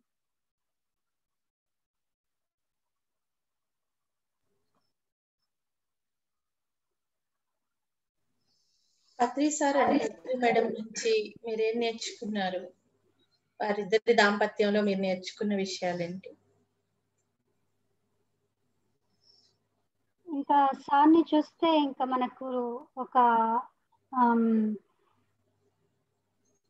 ఇంకా ఎలా అంటే ఇంకా మనం ఎలా నడవాలి భూమి పైన? ఏం చెయ్యాలి? ఏం నేర్చుకోవాలి? ఎలా మాట్లాడాలి? అన్ని సార్ని చూస్తే మనం నేర్చుకోనేచ్చు. సార్ అలా మనకు నేర్పిస్తున్నారు కూడా. ఇంకా సారే హీరో సారే సుప్రీం ఇంకా అంతా ఈ పేషెంట్స్ రావాలి అన్నా ఏదైనా ఏదైనా అరే ఇంకా ఈ వర్క్ ఇంకా ఇంకా ఉంది చేయలేను అనే భావన వచ్చినప్పుడు సార్ వెంటనే వస్తారు. ఎంత వర్క్ చేస్తున్నారు సార్? మన ముందర ఎంత వర్క్ చేసి చూపిస్తున్నారు? ఎంత పేషెన్స్ పెంచుకోవాలి? ప్రతి ఒక్క సిచ్యువేషన్లోని పేషెన్స్ చాలా అవసరం ఉందండి. సో అది పేషెన్స్ రావాలి అంటే సార్ని చూస్తేనే వస్తుంది ఆ పేషెన్స్ అన్ని అన్ని ఎలా నడుచుకోవాలి అనేది కూడా సార్ని చూస్తేనే వచ్చింది. సార్ లేనిదే నా లైఫ్ లేదండి. So sir is my breath breath is my guru అని సార్ చెప్తారు. బట్ రెండు నాకు ఒకటే. ఎందుకంటే నేను కోల్డ్ కోల్డ్ అని చెప్పాను కదా సార్కి ఇక్కడికి వచ్చే ముందు కూడా నాకు ఏది అడ- అడగటానికి రాలేదు. సార్ సరైన శ్వాసను ప్రసాదించండి అని అడిగాను. అప్పుడే అప్పుడు సార్ అన్నారు "నీ- మీకు అన్ని ఇచ్చేసాను మేడం అన్నారు. అప్పుడు అన్ని ఇచ్చేసారు అంటే ఇంకా నేను లేదు అనే భావనలు ఎక్కడైనా నేను బ్లాక్ చేసుకోవడమే కానీ గురువులు అన్నాక అన్ని ఇచ్చేయడం జరిగింది. తీసుకోవటం నాకు రాలేదు అని అప్పుడు రిలీజ్ అయ్యాను. సో ఏమేమి ఉందో అప్పుడు ఇంకా చెక్ చేసుకోవడం జరిగింది. సో అలా నాకు సార్తో ఇంకా లివింగ్ లెజెండ్ అంతే supreme is my friend god and guru everything ఇంకా మేడం మేడంతో నాకు అంత పరిచయం లేదు. అయితే వ్యాలీకి మేడం వచ్చేవాళ్ళు. సో అప్పుడప్పుడు కలిసే వాళ్ళము అయితే మేడం స్వర్ణామృతం వింటూ మేడం లైఫ్ తెలుస్తూ ఉంటే అర్థమవుతోంది. అసలు ఎంత అసలు మేడం లైఫ్లో సారు ఎక్కడ కనిపించరు? అలా సారు ఇల్లును వదిలి తిరిగి తిరుగుతూ ఉండటమే చూసాం మనము. మేడం ఇంటిని ఆ పిల్లల్ని చూసుకోవటము. సో మేడం ఇప్పుడు ఇంత సాక్రిఫైస్ చేస్తే తన లైఫ్ని మనకు ఇంత జ్ఞానం మనకు దొరకడం అనేది మేడం సపోర్ట్ ద్వారానే. సో మేడంకి ఎప్పుడు కూడా కృతజ్ఞతలు తెలుపుకుంటున్నాను. హృదయపూర్వకంగా నమస్కారాలు తెలుపుకుంటున్నాను. మీరు చెప్పండి సార్. సార్ అండ్ మేడం నుండి మీరేం నేర్చుకొని ముందుకు వెళ్తున్నారు? చెప్పినట్టండి వాళ్ళు బోత్ ఫ్యామిలీ లైఫ్ మరి స్పిరిచువల్ లైఫ్ బాగా బ్యాలెన్స్ చేసుకోవడం అనేది పెద్దలు అనేవి నాకు. సో ఫ్యామిలీ లైఫ్ వదలకుండా సార్ పోయి ప్రచారాలకి స్ప్రెడ్ చేయడము మెడిటేషన్ గురించి మేడం సపోర్ట్ చేయడము అనేది నేర్చుకున్నాం ఒకరికొకరు కాంప్లిమెంట్ చేయడం ఎలా కాంప్లిమెంట్ చేయాలి ఎలా సపోర్ట్ చేయాలి అనేది పెద్ద ఇంకా మీరు అట్లాంటాలో అని చెప్తున్నా ఇప్పుడు అట్లాంటానేనండి ఉంటుంది. ఇక్కడ మీరు పిరమిడ్స్ కోసం కానీ మెడిటేషన్ సెంటర్స్ కోసం కానీ ఏ విధంగా వర్క్ చేసేవారు? యా సో మెయిన్ ఏంటంటే అండి ఇక్కడ పిఎస్ఎం యుఎస్ ఆర్గనైజేషన్ ఉందండి. కోర్ టీమ్ ఉందన్నమాట. ఎక్కడ హెల్ప్ కావాలన్నా పిరమిడ్ పిరమిడ్స్ కోసం ఎతకాలని ఇప్పుడు కూడా హంట్ ఉందండి. మా మా గోల్ ఏంటంటే ఇక్కడ పిరమిడ్ కట్టాలని అట్లాంటాలో సో టైం దొరికినప్పుడల్లా వెళ్ళి ల్యాండ్స్ చూడము ఎక్కడ బాగుంటుందని చూడటానికి. మళ్ళీ ఏదైనా సెషన్స్ ఉన్నాయనుకోండి సపోర్ట్ చేయడము ఏమైనా వీళ్ళకి ఏమైనా మీలర్స్ మార్కెటింగ్ ఏదైనా హెల్ప్ చేయాలన్నా హెల్ప్ చేయడము. సో అది చెప్పాను కదా గ్రూప్ సెషన్స్ ఏమైనా అటెండ్ అయ్యి సపోర్ట్ చేయడం. మెయిన్ నా ఏమేంటంటే శిరీషాని ఇండిపెండెంట్గా చేయడము. I want her to dedicate her life in spreading meditation in USA అండి. So I want support great sir great great sir నిజంగా గ్రేట్ బ్యాక్ బోన్గా ఉండడం అనేది నిజంగా గ్రేట్ ఒక స్పిరిచువల్ పర్సన్కి తప్పకుండా బ్యాక్ బోన్ అవసరం. చాలా గ్రేట్ సార్ సార్ ఇంకా మీ యొక్క స్పిరిచువల్ ఎక్స్పీరియన్సెస్ ఏమన్నా ఉంటే చెప్పండి. స్పిరిచువల్ ఎక్స్పీరియన్సెస్ చాలా ఉన్నాయండి. ఆఫీస్లో బాగా స్ట్రగుల్ అయ్యేవాడు అనమాట ఏదైనా మంచిగా అంటే చాలా స్ట్రగుల్ హార్డ్ వర్క్ చేయడం. స్ట్రగుల్ అంటే చాలా హార్డ్ వర్క్ చేయడము. చాలా కష్టపడేవాడిని అవుట్కమ్ రావడానికి. కొంచెము కొంచెము కష్టపడేవాడిని బాగా. కానీ ఎప్పుడు ఈ స్పిరిచువల్కి వచ్చాను మెడిటేషన్ స్టార్ట్ చేయడం అనేది నాలో బ్యాలెన్స్ తెచ్చుకున్నాను. బ్యాలెన్స్ తెచ్చిన వెంటనే నాకు రైట్ అప్రోచ్ వచ్చేది అనమాట ఎక్కువ స్ట్రగుల్ లేదనమాట ఇప్పుడు. సో మెడిటేషన్ చేసి మైండ్ని కామ్ చేసినప్పుడు మీకు సొల్యూషన్స్ వెంటనే వచ్చేస్తాను అది. సో అది చాలా బెనిఫిట్స్ నేను చూస్తాను ఆఫీస్లో ఓకే ఇంకా హాస్టల్ ఎక్స్పీరియన్సెస్ ఏమన్నా ఉన్నాయా సార్ మేడం లాగా? ఉన్నాయండి. నాకు రెండు ఉన్నాయండి. నేను నేను చెప్పాను బాబా సత్యసాయిబాబు చాలా డివోటీ అండి. చాలా భజనలు వింటాను. మెసేజెస్ వింటూ ఉంటాను. నేను ఇంటర్మీడియట్ చేసినప్పుడు నాకు చాలా హెల్త్ ప్రాబ్లం వచ్చిందండి. ప్రాబ్లం అంటే ఫీవర్ అవడం హెడ్ఏక్ రావడం అంతా. సో ఏ డాక్టర్ చూపించినా ఏం ప్రాబ్లం లేదు అని కానీ బాగా హెడ్ఏక్ వచ్చేది ఫీవర్ వచ్చేది. ఒక రోజు నైట్ స్వామి నా కళలో వచ్చి మొత్తం బాడీ అంతా విభూతి రాసిపోయారు. నెక్స్ట్ డే మార్నింగ్ లేసే వరకు అంతా వెళ్ళిపోయింది. నో డాక్టర్ నో మళ్ళీ రీసెంట్లీ మెడిటేషన్ చేసినప్పుడు ఈ లాస్ట్ ఇయర్ నాకు కొంచెం ప్రాబ్లమ్స్ ఉన్నాయి. ఆర్మ్స్ కొంచెం ఇక్కడ డిస్లొకేట్ అయ్యాయి అనమాట ఎక్కువ ఎత్తలేను చేయలేను. ఇయర్ అండ్ హాఫ్ బ్యాక్ నాకు నిద్రపోయేటప్పుడు హాస్టల్ సర్జరీ అయినట్టు వచ్చిందండి. ఎవరో పైనుంచి వచ్చి హాస్టల్ పీపుల్ ఏలియన్స్ వచ్చి ఇట్లా అంత సెట్ చేసిపోయారు. అది నేను ఏమో అనుకున్నాను అది స్ట్రాంగ్గా ఉండిపోయాను అనమాట నా మైండ్లో అది అయింది అని. మళ్ళీ ఆ రోజు నుంచి ఇప్పటి వరకు eighty percent of my issues solve అయిపోయింది. చాలా పనులు చేయగలుగుతున్నాను అన్ని చేయగలుగుతున్నాను. సో అప్పుడు అనిపించి ఓహో వచ్చి వీళ్ళు హాస్టల్ సర్జరీ చేశారు అన్నట్టు అప్పుడు రియలైజ్ బాగుంది. ఓకే. మేడం ఇంకా మీ స్పిరిచువల్ ఎక్స్పీరియన్సెస్ చెప్పండి. ఎన్నో గద్యన్మలు చూసానని చెప్పారు కదా? గత జన్మలు చూసాను అంటే అదే ఫేసెస్ అంతా అలా వెళ్ళాయి. అంటే ఆల్రెడీ మనము ఎన్నో జన్మలు తీసుకున్నాం ఇక్కడ అని. అయితే పర్టికులర్గా ఈ జన్మలో నేను ఉన్నాను అనే విధంగా అయితే తెలియదు మేడం. అలా చూడలేదు. చాన్లింగ్స్ అవంతా జరిగాయా మేడం? చాన్లింగ్స్ ఏమన్నా జరిగాయా? చాన్లింగ్స్ ఏమన్నా జరిగాయా? ఛానలింగ్ ఆ, ఛానలింగ్ అవును మేడం. అది మెడిటేషన్ ఇక్కడ చేస్తుంటాం కదా గ్రూప్ మెడిటేషన్స్ సో అప్పుడు ఇక్కడ వన్ ఆన్ వన్ కూడా తీసుకుంటుంటాను సో ఇక్కడికి వచ్చాక నాకు మెడిటేషన్ చేయించేటప్పుడు అర్థమైంది. సో ఛానలింగ్ జరిగేది బాగా జరుగుతున్నాయి అసలు బాగా జరుగుతున్నాయి. సో నేను వన్ ఆన్ వన్ కూర్చున్నప్పుడు ఖచ్చితంగా ఆ ఆ మా అంటే అక్కడ ఎవరు పార్టిసిపెంట్ ఉంటారో వాళ్ళకి సంబంధించిన ఒక గురువు ఆ మాస్టర్ ప్రజెన్స్ నాకు తెలిసేది.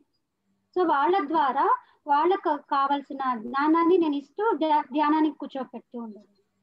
అది చాలా బాగా వాళ్ళకి హెల్ప్ అయ్యేది. సో గ్రూప్ మెడిటేషన్స్లో కూడా ఇక్కడ కూర్చున్నప్పుడు భూమాత ఒకసారి ఛానలింగ్ అయ్యారు.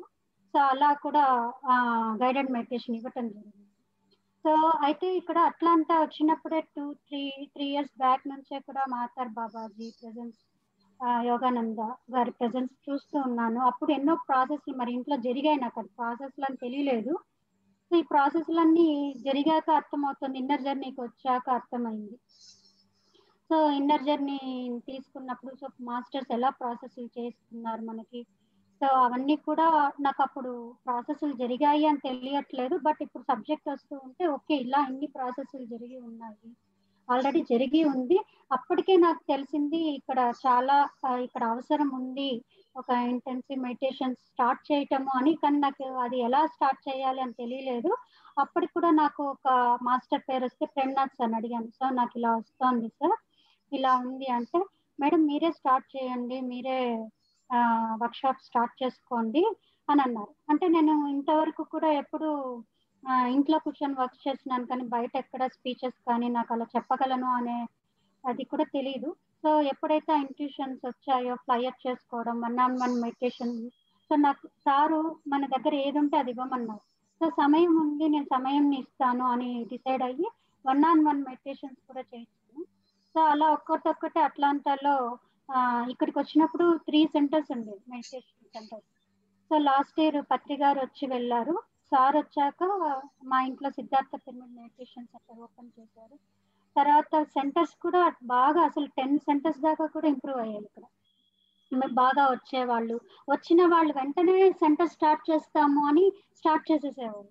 అంత బాగా మాస్టర్స్ రావటం తీసుకోవడం జరుగుతుంది. ఈవెన్ వన్ ఆన్ వన్ మెడిటేషన్కి వచ్చిన విత్ ఇన్ ఫార్టీ డేస్ వాళ్ళు ఫార్టీ డేస్ ఫాలో అప్ చేస్తాను. సో ఫార్టీ డేస్ తర్వాత నేను మళ్ళీ ఎప్పుడు వాళ్ళని టచ్ చేయను.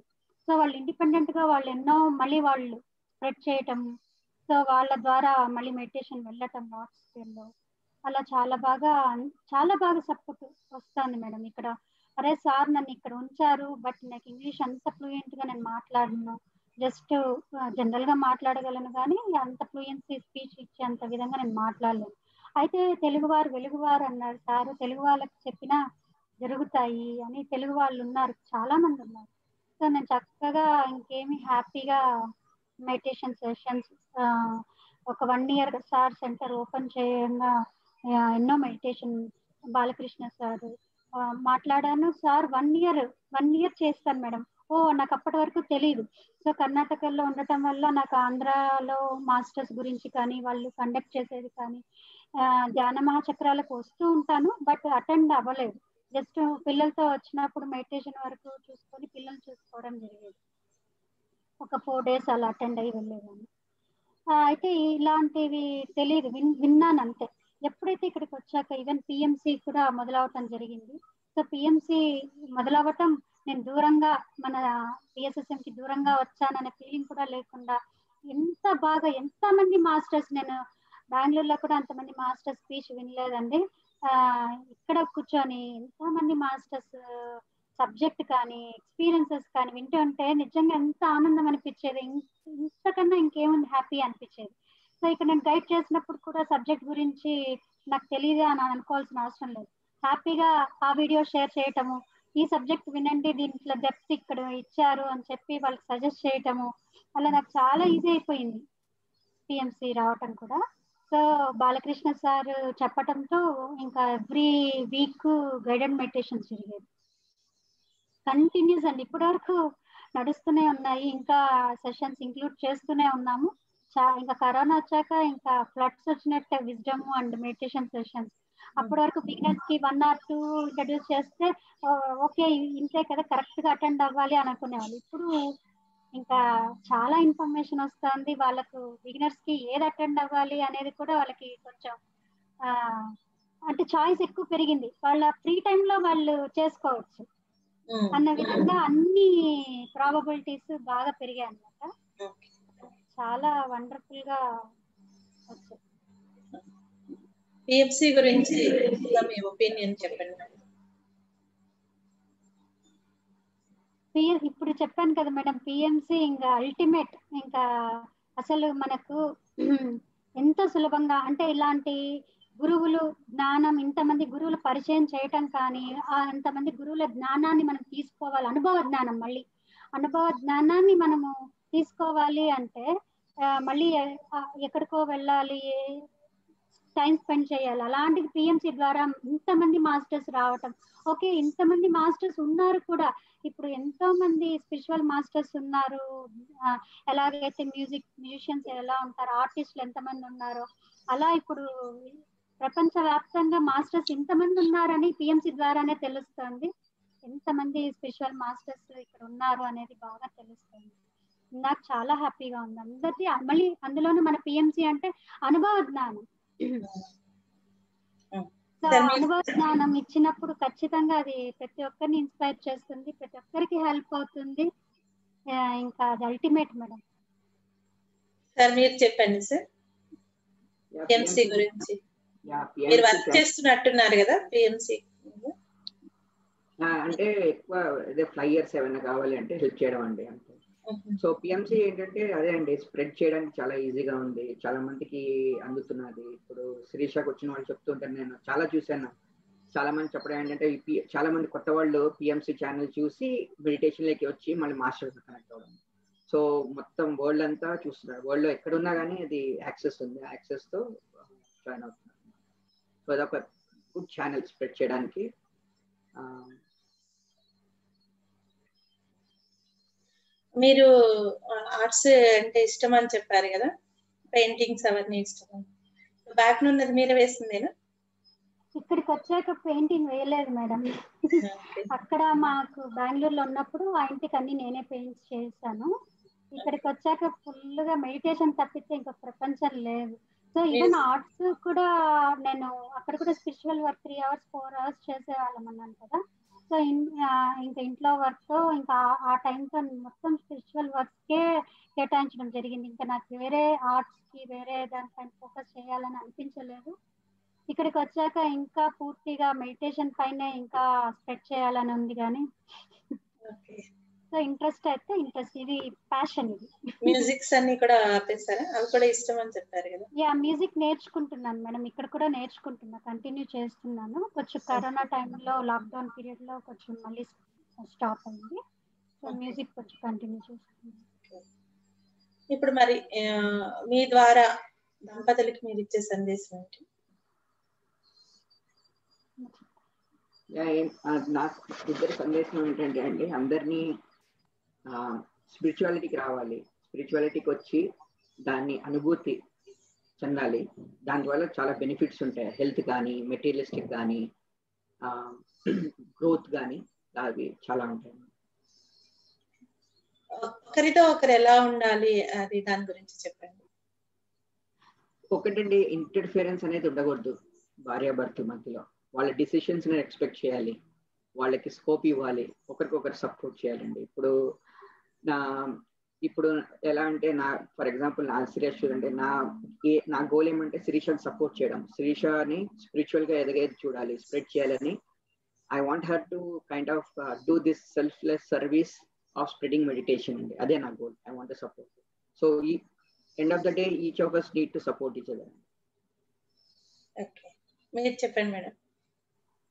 ప్రతి ఒక్కరికి అంతే మేడం. ఈయన చెప్పినట్టుగా సో ఒక దాంపత్య జీవితంలో ఉండవలసింది ఫ్రీడమ్ సో నాన్ ఇంటర్ఫీరెన్స్ చాలా ఇంపార్టెంట్ అది. సో ఆ స్వేచ్ఛను ఇచ్చినప్పుడే ఎదుగుతారు. సో ఒకరి కోసం ఒకరు ఆ గ్యాప్ని ఇవ్వాలి కలిసి ఉంటున్నాము అన్నా కూడా వాళ్ళ వాళ్ళ గోల్స్ వేరే ఉండొచ్చు నా గోల్స్ వేరే ఉండొచ్చు. కానీ ఖచ్చితంగా సపోర్ట్ చేస్తేనే ఆ దాంపత్యం చాలా ఆనందంగా సాగుతుంది. సో ప్రతి ఒక్కరు కూడా నేర్చుకోవాల్సింది ఇదే. ఇది రావాలి అంటే ఖచ్చితంగా ధ్యానం ఉండాలి అప్ప. అది బేస్ ఉంటేనే ఈ అండర్స్టాండింగ్ రావటం జరుగుతుంది. ఎందుకంటే ధ్యానం అనేది నేను నేను తెలుసుకోవటం అని. నేను అర్థం చేసుకుంటేనే ఇంకొకరిని అర్థం చేసుకోగలుగుతాను నేను. సో ఖచ్చితంగా దానికి ఎప్పుడు కూడా ఫౌండేషన్ మెడిటేషన్ ఉండాలి. అది ఉన్నప్పుడే చాలా క్లారిటీ అనేది లైఫ్లో వస్తుంది. యాజ్ ఎ పేరెంట్స్గా మీరు మిగిలిన పేరెంట్స్కి ఎలాంటి సందేశం ఇస్తారు? పిల్లల్ని ఎలా పెంచాలి అనే విషయంపై? సో నా పర్సనల్ ఒపీనియన్ అంటే నేను చాలా ఇప్పుడు చాలా ఇన్వాల్వ్ ఉన్నా స్పిరిచువల్ దీంట్లో స్పిరిచువల్ పేరెంటింగ్ సెషన్స్ వింటున్నాను. ఇక్కడ మాకు తెలిసిన ఫ్రెండ్స్ ఉన్నారు. వాళ్ళని చూశాను అనమాట పిల్లల్ని ఎలా పెంచుతున్నారు. సో నా సందేశం ఏంటంటే ప్రతి ఒక్కరు పిల్లలకి at least one two hours ఆ స్పిరిచువల్ గైడెన్స్ ఇవ్వాలి మెడిటేషన్ చేపియాలి. చదువు అనేది ఎప్పుడూ ఉంటుంది కానీ ఆ స్పిరిచువాలిటీ అనేది అట్లీస్ట్ డైలీ టూ అవర్స్ పిల్లల చేత చేపియాలి చాలా ఇంపార్టెంట్ మీరు పిల్లలుగా మీ పేరెంట్స్ పేరెంట్స్ కోసం ఒక పిల్లలకి ఇచ్చే సందేశం ఏంటి? పిల్లలకి ఇచ్చే సందేశం అంటే అండి స్టడీస్ అంటే చిన్న పిల్లల గురించి కాదు నేను అడుగుతుంది. మన మనము పిల్లలుగా మన పేరెంట్స్ ఉన్నారు మనకన్నా ముందు తరం వాళ్ళు. వాళ్ళకి వాళ్ళకి ఇచ్చే సందేశం ఏంటి ఎందుకంటే వాళ్ళ తరం వచ్చిన ఎవ్రీ తరం కూడా కొంచెం నాలెడ్జిబుల్గా ఉంటుంది కదా. వాళ్ళకి అనుభవ జ్ఞానం ఉంటుంది మనకి ఇప్పుడు స్పిరిచువల్ జ్ఞానం ఉండింది. ఆ అది బ్యాలెన్సింగ్ ఎలా అనేది మీరు ఎలా చెప్పగలరు? మనం అన్నిట్లో ఉన్నాం. ఇటు పేరెంట్గా ఉన్నాము అటు చిల్డ్రన్గా కూడా ఉన్నాం కదా. యాక్చువల్గా అంటే అదే అప్పుడు జనరేషన్లో ధ్యానం అందలేదు కదా మేడం. సో ధ్యానం అందలేదు అన్నప్పుడు ఖచ్చితంగా ఏదైతే పేరెంట్స్కి వాళ్ళ కోరికలు ఉంటాయో అది పిల్లల పైన రుద్దేవాళ్ళు. సో అది కూడా ఇగ్నోరెన్స్లోనే జరిగింది అయితే మా పేరెంట్స్ అయితే అలా ఏం చేయలేదు. బట్ జనరల్గా చెప్పమన్నారు కదా సో అలా ఉండేది. ఇప్పుడు పేరెంట్స్ రియలైజ్ అవుతున్నారు. సో వాళ్ళ కెరియర్ ఏంటి? వాళ్ళు ఏం చూస్ చేసుకుంటున్నారు? అది యాక్సెప్టెన్స్ చేయగలుగుతున్నారు. స్పిరిచువల్ పేరెంటింగ్ అనేది ఫస్ట్ అదే పేరెంట్స్ ఖచ్చితంగా పిల్లల్ని కనే ముందు మన ఎనర్జీస్ ఏంటి మన ఎమోషన్స్ ఏంటి మన థాట్స్ ఏంటి అనేది మాత్రం ఖచ్చితంగా చెక్ చేసుకోవాలి. సో మనం రెడీగా ఉన్నామా? సో ఒక బర్త్ ఇచ్చేటప్పుడు ఒక తల్లి అన్ని సంసిద్ధంగా ఉందా? అంటే ఒక వాళ్ళ అంటోల్ స్టోరీ ఆఫ్ సీత చదివినప్పుడు సీతాదేవి ఎలా మనకు ప్రతి ఒక్క విషయం పేరెంటింగ్ గురించి అంటే ఇంకా నాకు అదే బుక్ గుర్తొస్తుంది. సో దేనా మరియం గారు చాలా బాగా చెప్పారు. సో సీతాదేవిని పిల్లల్ని ఎలా పెంచింది? సో ఎలాంటి వాళ్ళు ఎక్కడ పుట్టాలి అనేది కూడా సో ఒక నేచర్లో నేచర్లో పుట్టటం అనేది కూడా నిర్ణయించుకోవడము నేచర్లో పెరగాలి అంత రాజులు అయ్యుండి అంత భోగాలు అనుభవించే వాళ్ళు అడవికి వచ్చి నేచర్లో ఉండి అక్కడ పిల్లలు పెరగటం అనేది సో ఒక ప్రకృతిలో ప్రకృతిలో ఎంత ఎంత మనము ప్రకృతితో అనుసంధానం అవుతూ ఉంటే అంత సహజంగా పిల్లలు పెరుగుతారు. అంత సహజతత్వం వాళ్ళల్లో అభివృద్ధి చెందుతుంది. సో ఇప్పుడు కూడా మనం ఈ సిటీ లైఫ్లో ఉండొచ్చు ఈ టెక్నాలజీలో ఉండొచ్చు కానీ మనం ఒక స్పిరిచువల్ పేరెంట్గా ఉన్నప్పుడు ప్రతి ఒక్కరికి ఇప్పుడు అర్థమవుతోంది. సో మనం ఎలాంటి భావాలతో ఎలాంటి జ్ఞానంతో మన పిల్లల్ని మన కడుపులో కడుపులో పడ పడక ముందే అవేర్నెస్ అనేది ఆ ఎరుక అనేది మనం ఎలా కలుగు చేసుకోవాలి? ఎరుకతో ఎలా మనం దాన్ని తీసుకోవాలి? సో చాలా బాగా అంటే నేను కూడా చెప్పాను కదా మేడం అంటే పిల్లల్ని కనే ముందు అంత ధ్యానం లేదు అని. అయితే ఇప్పుడు నేను నా ఫ్రెండ్స్ని చూస్తున్నాను. నిజంగా ఎంత ఎరుకతో ఈ జ్ఞానంతో వాళ్ళు ఎంత బాగా సోల్ ఇన్వైట్ చేయడం కానీ ఆ బేబీతో కనెక్షన్స్ని వాళ్ళు ఆ కనెక్షన్స్ని ఏర్పరచుకోవటం కానీ డెలివరీ టైంలో కూడా వాళ్ళు ఎన్నో ఇన్స్ట్రక్షన్స్తో డెలివరీ ఈజీగా తీసుకురావటం కానీ సో ఆ బేబీ సఫర్ అవ్వకుండా మదర్ పెయిన్స్ అది పెయిన్స్ అని భావించకుండా అది ఎంతో ఒక ఆనందమైన సమయం అని తనకు తాను గడిపే సమయం అని చాలా బాగా స్పిరిచువల్ పేరెంటింగ్లో చాలా నేర్చుకుంటున్నారు. అలాగే ఫ్రెండ్స్ చాలా మందిని చూశాను. ఇవి పాటిస్తూ వాళ్ళ పిల్లల్ని కనటం కానీ వాళ్ళ పిల్లల్ని నేను చూస్తూ ఉన్నాను. ఎంత చక్కగా పెరుగుతున్నారు ఎంత హ్యాపీగా అంటే ఒక ప్రకృతికి మనం ఎలా అయితే సహజ సిద్ధంగా ఉంటారో ఆ విధంగా వాళ్ళు అన్ని లేకపోతే పేరెంటింగ్ కూడా కష్టమైపోతుంది. సో మనం వాళ్ళని చూసుకోవటం అనేది చాలా కష్టం. అలాంటిది ఎప్పుడు స్పిరిచువల్ పేరెంటింగ్ చేశారో వాళ్ళకి డెలివరీ అయినప్పటి నుంచి కూడా ఎంతో సులభంగా వాళ్ళు హ్యాండిల్ చేసుకోగలుగుతారు. బ్యాలెన్స్డ్గా సో పిల్లలతో ఉండటం కానీ వాళ్ళ పిల్లల్ని ఎలా పెంచాలి అని కానీ పిల్లల ముందర ఏం మాట్లాడాలి ఏం మాట్లాడకూడదు. ఈవెన్ భావనలు కూడా అంటే చిన్న పిల్లలు కదా సో వెంటనే మన ఎమోషన్స్ అన్ని వాళ్ళకి తెలిసిపోతాయి. ఈవెన్ కడుపులో ఉన్నప్పుడు తెలిస్తే వెంటనే కూడా. సో ఆ పేరెంట్స్ ఎప్పుడు ఎరుకుతో ఉండటం అనేది జరుగుతుందో చాలా చక్కగా పెంచుతున్నారు. నేను చూస్తూ ఉన్నాను అలాంటి పేరెంట్స్. నిజంగా హ్యాట్స్ ఆఫ్ టు పిఎస్ఎస్ ఈ పిఎస్ఎస్ఎం లో ఉన్న వాళ్ళు మెడిటేషన్ చేసిన వాళ్ళు చక్కగా పెంచుతున్నారని మాత్రం నేను చెప్పగలను. అంత నేను చూస్తున్నాను కూడా. ప్రత్యక్షంగా చూస్తున్నాను. ఇప్పుడు ఎంతో మంది యంగ్ మాస్టర్స్ వచ్చారు. ఎంత బాగా ఇప్పుడు మన పిఎంసీలోనే చూస్తున్నాం కదా వాళ్ళ ఇంటర్వ్యూస్ కానీ పిల్లలు ఎంత బాగా ఇప్పుడు స్పీచ్ ఇస్తున్నారు. అంత క్లారిటీ ఎలా వచ్చింది అంటే వాళ్ళ పేరెంట్స్ మెడిటేషన్ స్టార్ట్ చేయడము. పిల్లల దగ్గర ఉన్నప్పటి నుంచి స్టార్ట్ చేసేయడమే వాళ్ళు ఇప్పుడు ఎంతో క్లారిటీగా వాళ్ళ లైఫ్ని లీడ్ చేస్తున్నారు. అంత యంగస్టర్స్ నేను చూస్తుంటే ఎంత happy madam. Because of sir work. ఎంతో సార్ ఇన్ని ఇయర్స్ ఫార్టీ ఇయర్స్గా వర్క్ చేస్తూ ఉండటం వల్ల ఆల్రెడీ ఒక జనరేషన్ మారిపోయింది మేడం. సో ఇట్స్ ఈజీ ఇంకా. ఎనర్జీ లెవెల్స్ పెరగటం కానీ ఎలా అయితే స్వర్గం చెయ్యాలో అనుకుంటున్నామో ఈ భూమిని అది చాలా సులభమైంది. కర్మ సిద్ధాంతం గురించి చెప్పండి. కర్మ సిద్ధాంతం ఎప్పుడు కూడా మనం ఏది చేస్తే అది తిరిగి ఇవ్వబడుతుంది. ఖచ్చితంగా ఇవ్వబడుతుంది. కానీ అది మన చాయిస్ అంతే. సో మనము ఇలా చేసాము అది తప్పు ఒప్పులు అని జడ్జ్ చేయక్కర్లేదు. ఓకే నేను ఈ స్థితిలో ఉన్నప్పుడు ఇది చేశాను. ఓకే నేను ఇప్పుడు నేర్చుకుంటున్నాను. అనే జ్ఞానాన్ని పెంచుకోవాలి. అంతేకాని ఓ నేను సో నేను ఇది పాస్ట్లో ఇది చేశాను కాబట్టి నేను ఈ పనిష్మెంట్ లాగా తీసుకుంటున్నాను ఇది నేను కష్టపడుతున్నాను అనే భావన అవసరం లేదు. అప్పుడు అజ్ఞానంలో చేశాము ఓకే దాని రిజల్ట్ అయితే వస్తుంది. ఖచ్చితంగా అజ్ఞానంలో చేసినా కూడా ఎక్కడ ఎలా ఉన్నా కూడా రిజల్ట్ అయితే మనమే తీసుకోవాలి. ఆ రిజల్ట్ తీసుకునే విధానం యాక్సెప్టెన్స్ అనేది ధ్యానంతో సులభంగా మనకు మలుచుకోవచ్చు. లేదు అంటే అరే నేను ఇది చేసి ఉంటాను కాబట్టి నేను ఇప్పుడు నేను ఈ జబ్బు కానీ ఈ ఫైనాన్షియల్ ఇష్యూస్ కానీ రిలేషన్షిప్స్ ఇష్యూస్ కానీ అన్ని ఫేస్ చేస్తున్నాను అంటే నేను చేసుకున్న కర్మ బాబు నేను చేసుకున్న కర్మ అని అనుకుంటూ ఉంటారు. కానీ ఎప్పుడైతే ధ్యానం వచ్చాక జ్ఞానం తెలిసాక ఎవ్వరు అనట్లేదు యాక్సెప్టెన్స్ గిల్టీ గిల్ట్ అనేది వెళ్ళిపోయింది. సో ఓకే మనం ఆ స్టేట్లో ఉన్నాము అది వీలాంటి అది పాస్ట్ ఈస్ పాస్ట్ సో ఇప్పుడు మనం రియలైజ్ అయ్యాం మనం దాన్ని కరెక్ట్ చేసుకోవచ్చు.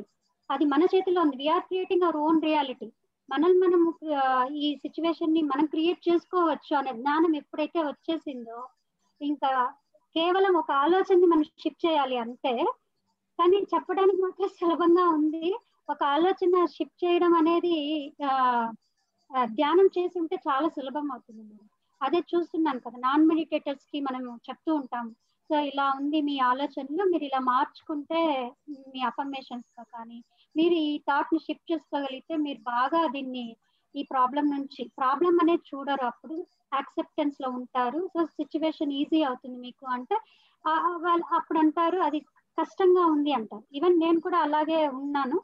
ఆ స్టేట్ నుంచి వచ్చాను. వాళ్ళు కూడా అదే చెప్తున్నారు. అయితే మన పేషెన్స్తో మనం ఎప్పుడు కూడా ఎప్పుడు ఎనర్జీస్ని పెంచుకుంటూ ఉంటే మన ఆలోచన విధానం ఖచ్చితంగా మారుతుంది సులభంగా మారుతుంది. We are creating our own reality అని వల్ల గుర్తి చెప్పొచ్చు. సో ఇంకా మనం ఇంకా అది మన చేతిలో ఉన్నప్పుడు ఇంకేంటి? మన ఆలోచనే మన నుదిటి మీద రాత అందుకే సార్ చెప్తూ ఉంటారు వాక్షేత్రం సో ఖచ్చితంగా మన నోటిలోని మాట నుదిటి మీద రాత సరైన మాటలు మాట్లాడాలి. సార్ మీరు చెప్పండి ధర్మం గురించి. ధర్మం అనేది ధర్మం అనేది అంతా కరెక్ట్ రైట్గా చేయడం అండి. నేను ధర్మం అనేది మీ మీ చేసే వాటిల్లో ఉంటుంది చెప్పే వాటిల్లో ఉంటుంది. నా నా డెఫినేషన్ అంటే అదర్స్ అదర్స్ హెల్ప్ చేయకూడదు హెల్ప్ చేయడము ఎప్పుడు రైట్గా ఆలోచించడము సో సింపుల్గా అలా ధర్మం అనేది అది principles just if you follow those principles that's all ధర్మం. మనం ప్రతి ఒక్కరికి ఒక లైఫ్ పర్పస్ అని అనుకుంటూ ఉంటాం కదండి. అట్లా మీరేమన్నా మీ లైఫ్ పర్పస్ని తెలుసుకోవడం జరిగిందా? అవునండి. ఈ నాకు ఈ మెడిటేషన్కి వచ్చాక నాకు లైఫ్ పర్పస్ తెలిసిందండి. పర్పస్ అనేది క్లారిటీ వచ్చింది. ఇప్పుడు ఉండేది క్లారిటీ వచ్చింది అది. నా పర్పస్ ఏంటంటే అండి to serve humanity so to help spiritual awareness అనేది నాకు బాగా క్లియర్ అయిందండి. సో శిరీషకు చెప్తూ ఉంటాను అనమాట నా నేను ఎప్పుడు మెటీ మెటీరియలిస్ట్గా ఆలోచించేవాడిని. ఇంకా ఎలా మనము బ్యాంక్లో డబ్బు పెట్టుకోవడము ల్యాండ్స్ కొనడము ఇవన్నీ వెళ్ళిపోయి సో నాకు క్లారిటీ వచ్చింది. వన్స్ ఐ రిటైర్ ఏం చేయాలనేది. Spend in NGO organizations you know do help in spreading meditation spreading divinity across all the human beings so నాకు క్లారిటీ వచ్చింది. ఏం చేయాలనేది నాకు బాగా ప్లాన్ నాకు శిరీష మేడం మీరు? సో పర్పస్ అంటే ఇంకా ప్రతిసారి చెప్పినదే మేడం. ధ్యానం ధ్యానం అందరికీ చెప్పాలి. సో వెజిటేరియనిజం గురించి శాకాహారం గురించి అందరికీ ప్రమోట్ చేయాలి. పిరమిడ్ ఎనర్జీస్ గురించి అందరికీ స్ప్రెడ్ చేయాలి. సో ఖచ్చితంగా ఈ మూడింటి విషయాల్లో ప్రతి ఒక్కరికి అందజేయాలి. ప్రతి ఒక్కరు కూడా దీని ఈ మార్గాన్ని అనుసరిస్తే వాళ్ళ లైఫ్ని చాలా ఆనందంగా వాళ్ళు లీడ్ చేయగలుగుతారు. సో ప్రతి ఒక్కరికి ధ్యేయం ఇప్పుడు మీరు ఈజిప్ట్ వెళ్ళారు కదా? ఈజిప్ట్ వెళ్ళినప్పుడు అక్కడ ఉన్న మీ పర్పస్ ఏమన్నా తెలిసిందా? సో అక్కడికి వెళ్ళే వరకు కూడా తెలియలేదు మేడం. నాకు ఈజిప్ట్ వెళ్ళే వరకు కూడా అసలు నేను ఎందుకు వెళ్తున్నాను? కానీ అక్కడికి వెళ్ళాక కరెక్ట్ పాస్ట్ లైఫ్ అంటే గుర్తొచ్చింది. ఇక్కడ ఒక పాస్ట్ లైఫ్ తెలుసుకోగలిగాను. సో పాస్ట్ లైఫ్లో రబియా అని ఒక మాస్టర్ సూఫీ మాస్టర్ నా గురువు అనమాట సో ఆ గురువు కూడా ఎలా తెలిసిందంటే ఒక రీటా మేడం అని రీటా క్యాప్టెన్ అని ఒక మేడం మన ఈజిప్ట్ ట్రిప్లో కలిసారు సో తను నాకు ఎప్పుడు పరిచయం లేదు. ఆ ట్రిప్లో కలవటం కానీ తను కలిసిన వెంటనే ఎంతో తనతో పరిచయం ఉన్న విధంగా ఉండేది. ఎంతో పరిచయం అది అర్థమయ్యేది కాదు. అయితే ఎప్పుడు మెడిటేషన్ కూర్చున్నాను. సో తను పాస్ట్ లైఫ్లో తను కూడా తన పూర్ణాత్మ రబియా మాస్టర్ అని తెలుసుకోవటం. సో రబియా మాస్టర్ ఛానలింగ్ అవ్వటానికి తను సిద్ధం అవుతున్నట్టుగా ఉండింది. తన స్టేజ్ అప్పుడు కూడా మాకు నేను బిగినర్ కదా అంటే తెలియదు అంత ఇదిగా. సో కానీ తన స్టేజ్ చూస్తే ఎన్నో ప్రాసెస్ జరుగుతోంది తనకి ఛానలింగ్ అవ్వటానికి. సో ఏదైతే ఆ మాస్టర్ ఛానల్ చేసుకున్నారో ఆ మాస్టర్కి నేను కనెక్ట్ అయి ఉన్నాను సో అలా తను నా మదర్ అని సో అలా నాకు రబియా అమ్మ నా గురువు అని తెలిసింది. అది మళ్ళీ నేను పిరమిడ్ వ్యాలీకి వచ్చాక కింగ్స్ చాంబర్లో కూర్చొని మెడిటేషన్ చేశాక రబియా మాస్టర్ నాతో మాట్లాడటం ఏంటంటే ఒక వే ఇచ్చారు. వే ఇచ్చేసి ఇంకా నువ్వు ప్రయాణించాల్సి ఉంది నువ్వు వెళ్ళు. ఇంకా నీ మార్గం ముందు ఇంకా వెళ్ళాలి అని తను ఒక వే ఇచ్చారన్నమాట. అది చూపించారు. సో అలా గత ఒక పాస్ట్ లైఫ్ని ఈజిప్ట్లో చూడటం జరిగింది. ఆ కింగ్ అక్కడ ఈజిప్ట్లో కింగ్ షాంబర్లో కూర్చుంటూనే నా పూర్ణాత్మతో హయ్యర్ సెల్ఫ్కి కనెక్షన్స్ అనేది అప్పుడు ఏర్పడ్డాయి. సో అప్పుడు ఏర్పడడం జరిగింది. అది చూ అది నేను నాకు అర్థమైంది. ఓకే సో కనెక్టివిటీ అనేది అప్పుడు ఫామ్ అయ్యింది. ఆ ఎనర్జీస్ పూర్ణాత్మ అనేది. ఎనర్జీస్ అనేది నేను హయ్యర్ సెల్ఫ్ ఎనర్జీస్ అనేది ఫస్ట్ టైం ఫీల్ అయ్యాను. మీకు మహావతార్ బాబాజీ యొక్క ప్రజెన్స్ యోగానంద పరమహంస ప్రజెన్స్ ఉన్నదని చెప్పారు కదా. అంటే వీళ్ళతో మీకు గత జన్మ అనుభవాలు ఏమన్నా ఉన్నాయా? సో నేను అలా అలా అలా అనుభవం ఉంది అని చెప్పలేను. బట్ ఆ ఎనర్జీస్ అది ఉంది అంటే నాకు మామూలుగా మీరు అడిగారు కదా ఛానలింగ్ అని. సో బాబా షిరిడి బాబా దగ్గర నుంచి మాతా బాబాజీ వరకు కూడా ఆ ప్రెజెన్స్ మెడిటేషన్లు అయితే చూస్తూ వచ్చాను. మరి వారితో ఏం అనుబంధం ఉంది అనేది నాకు తెలియదు బట్ అయితే ఆ ఎనర్జీ దానికి త్వరగా కనెక్ట్ అవుతూ ఉంటాను. త్వరగా కనెక్ట్ అవుతూ ఉంటాను ఆ మాస్టర్స్తో. సో మళ్ళీ ఇప్పుడు ఇన్నర్ జర్నీ ప్రోగ్రామ్ ద్వారా మళ్ళీ మాతర్ బాబాజీ కనెక్షన్స్ ఏర్పడటము సో బాబాజీ మెసేజెస్ ద్వారా ఈ ప్రోగ్రామ్ని ముందుకు తీసుకెళ్ళటం అనేది జరుగుతోంది. అది నేను చూస్తున్నాను. సో నేను ఇంత పెద్ద అంటే ఎప్పుడు ఇంత పెద్ద ప్రోగ్రామ్ నేను ఆర్గనైజ్ చేయలేదు. ఖచ్చితంగా బాబాజీ సపోర్ట్తో సపోర్ట్తో సపోర్ట్తో మహాతర్ బాబాజీ శివ పత్రిజీ సపోర్ట్ తోనే ఇది ఈజీగా వెళ్తుంది.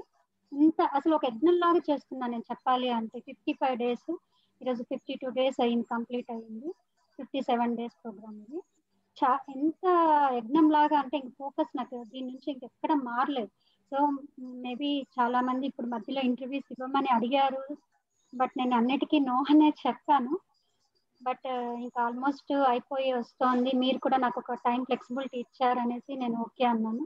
కానీ నాకు పూర్తిగా అక్కడ కూర్చున్నప్పుడే కాదు వీలైనంత మౌనంగా ఉండాలి అనేదే నాకు ఈ ప్రాజెక్ట్లో అర్థమైంది. సో నేను వీలైనంత మౌనంగా ఉండటానికి ఓన్లీ ఈ ఇన్నర్ జర్నీకి సంబంధించిన వర్క్ చేయడానికి అది మాత్రం నేను ఫోకస్ చేస్తూ వచ్చాను అనమాట సో అదంతా కూడా బాబాజీ మెసేజెస్ బాబాజీ త్వరగా అలా అంటే ఇప్పుడు నేను ఏం వర్క్ చేయాలి? ఈవెన్ నా టీంలో వర్క్స్ కానీ ఇలా కూర్చొని ఒక మీటింగ్తో డిస్కషన్ చేయక్కర్లేదు. Team members inner journey nine మేము స్టార్ట్ చేసాము. ఎయిటీన్కి స్ప్రెడ్ చేస్తున్నాం. So nine inner journey nine USA team వాళ్ళు ఎంత సపోర్ట్ అంటే ఇంకా నేను అడగగానే ఇంకా మేం రెడీ మేం రెడీ అని వాళ్ళు కూడా ఈజీగా నాకు సపోర్ట్ చేయడం కానీ అంతా ఒక ప్లాన్డ్గా జరుగుతోంది. ఇక్కడ మనం ఏమీ చేయట్లేదు. నిల్చున్నాం అంతే. సో అంతా మాస్టర్స్ మన ద్వారా చేయిస్తున్నారని మాత్రం చక్కగా చూడగలుగుతున్నాను. మొత్తం ఈ ఎనర్జీస్ స్ప్రెడ్ అవటం కానీ మొత్తం కూడా మీడియంగా నేను ఉంటున్నానని మాత్రం ఖచ్చితంగా చెప్పగలను. మాస్టర్స్ అంత స్మూత్గా డ్రైవ్ చేస్తున్నారు ఎలాంటి మెసేజెస్ బాబాజీ? మెసేజెస్ అంటే ఇప్పుడు నాకు నెక్స్ట్ వర్క్ ఏం అలాట్ చేసుకోవాలి? సో నెక్స్ట్ వర్క్ షాప్స్ ఏం తీసుకురావాలి? ఇన్నర్ జర్నీకి రిలేటెడ్గా నేను ఇంకేం సబ్జెక్ట్ ఇవ్వాలి? ఏ సబ్జెక్ట్స్ మాస్టర్స్ uh, తో నేను కనెక్ట్ అయ్యి నెక్స్ట్ వర్క్ షాప్స్ తీసుకురావాలి? అలా వెంట వెంటనే ఒక స్టెప్ అవుతూనే ఆ నెక్స్ట్ స్టెప్ ఇంకా ఏంటని ముందుగానే థాట్స్ వస్తాయి అది వచ్చిన ఇంట్యూషన్స్ వస్తూనే ఇంకా ఫాలో అయిపోవడమే. సో వాటికి ఏమైనా ఫ్లైయర్స్ చేసుకోవటము. సో నేను పీపీటీ పవర్ పాయింట్ ఇవన్నీ ఇక్కడికి అంటే ఫ్లైయర్స్ ఇంతకు ముందు చేసేదాన్ని. ఇప్పుడు కూడా ఇంకా కొంచెం దాంట్లో ఇంకా క్లీన్గా ఫ్లైయర్స్ చేయటం బ్యాక్ అండ్ వర్క్స్ చేయటం అవన్నీ కూడా చేస్తున్నాను. ESA లో యాక్చువల్గా ఇంత ఇప్పుడు టూ హండ్రెడ్ మెంబర్స్ ఇన్నర్ జర్నీలో పార్టిసిపేషన్ అంటే ఇట్స్ బిగ్ అచీవ్మెంట్ ఇన్ని ఇన్ని సార్లు వర్క్ షాప్స్ చూసాం కదా. So రియలీ really అచీవ్మెంట్ అందరూ చాలా బాగా టెమండరస్ ఎక్స్పీరియన్సెస్ పొందుతున్నారు కదా. ఎనర్జీ అనేది ఆ ఇప్పటి వరకు జరిగిన వర్క్ వేరు ఎనర్జీ లో జరుగుతున్న వరకు చాలా డిఫరెంట్గా జరుగుతాయి భూమికి ఏం కావాలో అది నడుస్తున్నట్లు ఇప్పుడు భూమి పైన ఉన్న ప్రతి ఒక్కరిలో మార్పు అనేది ఎలా తీసుకురావాలనేది మాస్టర్స్ చాలా బాగా మీ అందరి ద్వారా అందిస్తున్నారు ఆ, మీ అందరి తరపు నుంచి కూడా మాస్టర్స్కి హృదయపూర్వకంగా ధన్యవాదాలు. ఇంకా చెప్పండి. అంటే మనము స్పిరిచువల్ జర్నీని చేస్తున్నాము ఫిజికల్ జర్నీని చేస్తున్నాం కదా. రెండు ఆ, ఒకేలాగా తీసుకొని చేస్తున్నాం. ఆ, ఒక టైంకి ఆలోచిస్తే ఇక్కడున్నామా అక్కడున్నామా కూడా అర్థం కానిలాగా మెర్జ్ అయిపోయి ఉన్నాం కదా. ఇట్లాంటి టైంలో మీకు ఎప్పుడన్నా ఏంటి ఎక్కడున్నాము అనే ఒక థాట్ ఏమన్నా వచ్చిందా? లేదా హ్యాపీయెస్ట్ మూమెంట్ లాగా ఉండిందా? త్రీ ఇయర్స్ బ్యాక్ అయితే మీరు అన్నట్టు డిఫరెన్సెస్ చూసాను మేడం అంటే స్పెషల్ వర్క్ చేస్తే ఎంజాయ్ ఓ ఈరోజు ఈ వర్క్ చేశాను ఒక సాటిస్ఫాక్షన్ అయితే నాకు ఫిజికల్ వర్క్స్ ఏమైనా ఎక్కువ అవుతూ ఉంటే ఓకే ఇంటి పనులు ఎక్కువైపోతున్నాయి ఈ వర్క్ చేయలేదే అనే ఫీలింగ్ ఉండేది. ఎప్పుడైతే నేను ఆకాశిక్ రికార్డ్స్ చూసుకోవడం పర్పస్ ఆఫ్ లైఫ్ కానీ అహం బ్రహ్మాస్మి స్టేట్ కానీ ఎప్పుడు వచ్చిందో ఖచ్చితంగా మర్జ్ అయిపోయింది. సో అప్పటి నుంచి ఎలా ఉంది నా పర్సెప్షన్ అంటే ఈవెన్ మన గిన్నెలు కడుగుతున్నా వంట చేస్తున్నా కూడా మనం అలైన్ అయిపోయినాం కాబట్టి అది కూడా స్పిరిచువల్ వర్కే అది సపరేట్ కాదు. మెటీరియలిస్టిక్గా మనం వర్క్ వేరే చేస్తున్నా కూడా రెండు ఒకటే అని తెలిసిపోయినాయి. దీని ద్వారా కూడా మనకు వర్క్ జరుగుతూనే ఉంది. అంటే ఇప్పుడు కుకింగ్ చేస్తుంటే అది మనం వర్క్ చేయట్లేదేమో అనుకుంటాము స్పిరిచువల్గా. అది ఇంతకు ముందు నా భావన అంతే. ఇప్పుడు అలా కాదు. కుకింగ్ చేస్తూ ఉన్నా డిష్ వాష్ చేస్తున్నా క్లీనింగ్ చేస్తున్నా ఏది చేస్తున్నా ఇంకా నాకు ఇదే అది స్పిరిచువల్ గానే ఉంది కానీ ఇంకా డిఫరెన్స్ లేదు దాంట్లో. సో అప్పుడు నాకు ఫుల్గా సాటిస్ఫాక్షన్ ఈ వర్క్ చేసినా ఆ వర్క్ చేసినా. ఇంకా డిఫరెన్స్ లేనప్పుడు ఆ అవేర్నెస్ అనేది చాలా బాగా క్రియేట్ అయ్యింది మేడం. ఆ, అంటే ఈ మూమెంట్ ఈ మూమెంట్లో నేను ఉండటం ఎప్పుడు నేర్చుకున్నానో ద పవర్ ఆఫ్ నవ్ ఆ బుక్ చదివాక వర్తమానం చాలా ట్రాన్స్ఫర్మేషన్ సో ఈ- ఈ నిమిషంలో నేను ఉన్నాను అనేది మాత్రం తెలుసుకుంటే చాలు. అది జరగాల్సిన ఎనర్జీస్ సార్ ఏదైతే చెప్పారో మనకి ఎప్పుడు ఆ కనెక్టివిటీ ఉంటుంది. ప్రతి ఒక్కరు కూడా అదే పర్పస్ మనం ఆ ఎనర్జీస్ని మనం తీసుకొని ఎర్త్కి ప్రతి ఒక్క జీవికి ప్రతి ఒక్క వృక్షానికి ప్రతి ఒక్క ప్రతి ఒక్కరికి ఇవ్వటమే మన పని. సో అది మనం మనం చేయాల్సిన మన డ్యూటీ అది. అది మనం మెడిటేషన్తో ఎప్పుడు ఆ కనెక్టివిటీ వచ్చేసిందో అందుకే సార్ చెప్తారు ఏ నిమిషంలో ఏ పిరమిడ్ మాస్టర్ ఏ పని చేస్తున్నా జరుగుతున్నది అని. అది నాకు ఇప్పుడు బాగా అర్థమైంది. ఏ పని చేస్తున్నా జరుగుతుంది మేడం అది ఆ వర్క్. మిగిలిన జీవరాశి అంతా కూడా ఎర్త్కి ఇవ్వడం అనేది బాగా చేస్తాయి. స్టోన్ దగ్గర నుంచి మినరల్ కింగ్డమ్ గానీ ప్లాంట్ కింగ్డమ్ గానీ యానిమల్ కింగ్డమ్ గానీ అన్ని ఇస్తున్నాయి. బట్ మానవుడు మాత్రం ఇప్పటి వరకు తీసుకుంటూ వచ్చాడు. ఇప్పుడు అట్ ద సమయం అనేది వచ్చింది అనమాట మనం ఎర్త్కి ఇవ్వడం కోసం. ఆ ఈ మూమెంట్లో మనం ఉండడం అనేది చాలా హ్యాపీగా ఉంది అనమాట బాగుంది. చాలా బాగా మంచి ఇది చెప్తున్నారు. చాలా చాలా హ్యాపీగా ఉంది మిమ్మల్ని కలవడం కూడా. Thank you thank you sir ఇంకా మీ ఎక్స్పీరియన్స్లు ఇంకా ఎలా వెళ్తే బాగుంటుంది అనుకుంటున్నారు మూమెంట్ సో అదే అండి ఇక్కడ అవేర్నెస్ ఇంకా చాలా కావాలి యుఎస్లో. సో నాకు అనిపిస్తుంది మా పర్పస్ ఇక్కడ రావడం మెయిన్ పర్పస్ ఏంటంటే ఎలా అవేర్నెస్ ఇంక్రీజ్ చేయడము ఎలా సపోర్ట్ చేయడము పిఎస్ఎస్ యుఎస్ ఆర్గనైజేషన్ సో నా నా థాట్ ఏమంటే అండి శిరీషాకి ఫస్ట్ జాబ్ చూడమన్నాను ఇక్కడ బోర్ కొడుతూ ఉంటే. ఇప్పుడు నాకు అనిపించింది శిరీష జాబ్ ఏంటంటే స్ప్రెడ్ చేయడం అంటే నేను సపోర్ట్ చేయడం. సో శ్రీషక్ టార్గెట్స్ ఇస్తూ ఇస్తూ పోతాను. ఫస్ట్ టెన్ చెప్పాను మళ్ళీ హండ్రెడ్ చెప్పాను. ఇప్పుడు చెప్తున్నాను థౌసండ్ పీపుల్కి స్ప్రెడ్ చేయాలి అని. నెక్స్ట్ సిక్స్ మంత్స్లో. సో అలా సపోర్ట్ చేస్తూ స్ప్రెడ్ చేస్తూ పోవాలి. ఫ్యూచర్ ప్లాన్ ఏంటి? స్పిరిచువాలిటీకి సంబంధించి. ఇప్పుడు అన్నారు కదా థౌసండ్ పీపుల్కి చేయాలి అని. దానికి సంబంధించిన ప్లాన్ అంతా రెడీ అయిపోయిందా? అంటే ప్లాన్ అంటే ఇదే అండి. అంటే అంత ప్లానింగ్ చేయము. అలానే లైక్ వస్తాయి మాకు. అనుకుంటే విజువలైజ్ చేస్తాము అయిపోతూ ఉంటాయి అనమాట because of all masters and all that just that we want continue in this path and I want support I want dedicate my life whole family towards spirituality madam మీరు ఖచ్చితంగా అయితే అట్లాంటి పిరమిడ్ చూడాలి madam. Pyramid రావాలి. So దాని వెనకనే ఈ work అంతా కూడా జరుగుతోంది. సో పిరమిడ్ అయితే ఖచ్చితంగా వస్తుంది. అదే ఫ్యూచర్ ప్రాజెక్ట్ అయితే. సో దానికి ముందు పిఎంసి యుఎస్ఏ ఇప్పుడు యూట్యూబ్ ఛానల్ వచ్చింది. సో దీని ద్వారా మాకు ఈయన టాస్క్ ఇచ్చారు కానీ థౌజండ్ మెంబర్స్ ఈజీగా దాన్ని ఫుల్ఫిల్ చేయగలుగుతాము. సో ఖచ్చితంగా అయితే పిరమిడ్ వస్తుంది మేడం. ఫ్యూచర్ ప్రాజెక్ట్ అదే. ఇంకేది మైండ్లో రావట్లేదు. అది ఉండిపోయింది.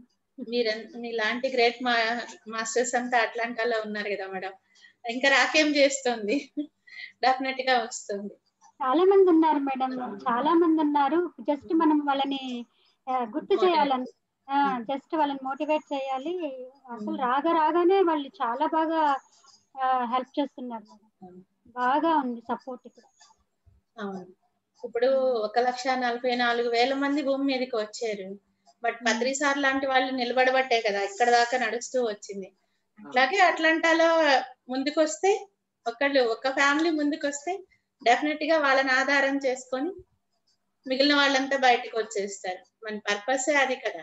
ఒక స్టెప్పింగ్ స్టోన్గా మనం నిలబడడం అనేది మన వర్క్. అది మనం హండ్రెడ్ పర్సెంట్ చేస్తున్నామన్న సాటిస్ఫాక్షన్ మాత్రం మనకి ఉండిపోతుంది కదా. చాలా చాలా థ్యాంక్స్ అండి. చాలా గొప్ప విషయాలు చాలా బాగా చాలా క్లారిటీగా అర్థం చేసుకోగలిగాము. అలాగే మీరు ఇచ్చిన సందేశాలన్నీ కూడా ఎంతో మందికి ఇన్స్పిరేషన్గా ఉంటాయి. నాకు బాగా నచ్చిన విషయం సార్లో నేను బ్యాక్ బోన్ అని చెప్తున్నారు చూసారా? అది ఫ్యామిలీలో ప్రతి ఒక్కరికి అవసరం అన్నమాట. ఈవెన్ భర్త వర్క్ చేస్తుంటే భార్య బ్యాక్ బోన్గా ఉండాలి. భార్య వర్క్ చేస్తుంటే భర్త బ్యాక్ బోన్గా ఉండాలి. నిజంగా అలా అలా ఉన్నప్పుడు ఒకరినొకరిని అర్థం చేసుకొని ఆ స్పేస్ ఇచ్చి ఇద్దరికి ఆ మధ్య స్పేస్ లేకపోతే వైఫ్కి ఇవ్వాల్సిన స్పేస్ వైఫ్కి ఇవ్వాలి వైఫ్ హస్బెండ్కి ఇవ్వాల్సిన స్పేస్ ఇవ్వాలి. అది ఇచ్చినప్పుడు ఏమంటే అండర్స్టాండింగ్స్ అనేవి చాలా బాగుంటాయి. మనం ప్రపంచానికి అందించే సందేశం ఇదే కదా మేడం. స్పిరిచువల్ బీయింగ్స్ అంటేనే ఒక మెసేజ్ వెళ్ళిపోవాలి ప్రపంచానికి. ఎస్ ఇలా ఉండాలి అందరూ అంటే ఇలా ఉండాలి. అర్ధనారీశ్వర్లు అంటే ఎలా అంటే ఇదే కదా అర్ధనారీశ్వర తత్వం అంటే. ఆ నిజంగా ఇప్పటి వరకు అర్ధనారీశ్వరులుగా వచ్చిన ప్రతి ఒక్క కప్పులు కూడా ఆ కరెక్ట్ పర్సన్స్ వచ్చారు అని నాకు ఏ రోజుకి ఆ రోజు ఎస్ వీళ్ళు కరెక్ట్ పర్సన్స్ వీళ్ళు కరెక్ట్ పర్సన్ ఎవరిని చూసినా ఇలాగే అనిపిస్తుంది అనమాట చాలా పర్ఫెక్ట్గా ఉన్నారు అని. Thank you thank you thank you అండి. చాలా అద్భుతమైన విషయాలు మాకు అందజేశారు. ఓకే మనం కొంతసేపు మెడిటేషన్ చేద్దాము. మీరు మీ మ్యూజిక్తో మాకు మళ్ళీ మెడిటేషన్ ఒక హాఫ్ అన్ అవర్ మెడిటేషన్లో కూర్చోబెట్టండి మ్యూజిక్ షేర్ చేశానమాట ఆహా లేదు లేదు. మీరు own voice okay but background music ఉంటే బాగుంటుందా? అంటే మీరు ఆ, ఓకే మీరు పాడతారు కదా ఇప్పుడు? జస్ట్ ఒక వేమన పద్యాలు రెండు చెప్తాను. ఓకే. గైడెడ్ మెడిటేషన్ లాగా చేయిస్తారా? ఎలా చేయిస్తారు? గైడెడ్ మెడిటేషన్ బట్ అయితే మ్యూజిక్ బ్యాక్గ్రౌండ్ ఉంటే బాగుంటుంది ఆ, మీ అనుకుంటున్నాను ఇష్టం. మీరు ఎలా అయినా సరే ఛానలింగ్ ద్వారా చేయిస్తారా? ఎట్లా చేయిస్తారు ఛానలింగ్ అనేది ఇప్పుడు నేను కళ్ళు మూసుకుంటే గానీ తెలియదు మేడం నాకు. Okay okay. అవసరం ఉంటేనే వస్తాయి. Okay okay. No problem. No problem. అది మీకు ఎలా వస్తే అలా? అంటే ఫోర్స్ ఏమీ లేదు. మీ ఇన్నర్ నుంచి మీకు ఎలాంటి ఇది అనిపిస్తే అది చేయండి. ఓకే. మ్యూజిక్ షేర్ చేస్తాను. ఓకే.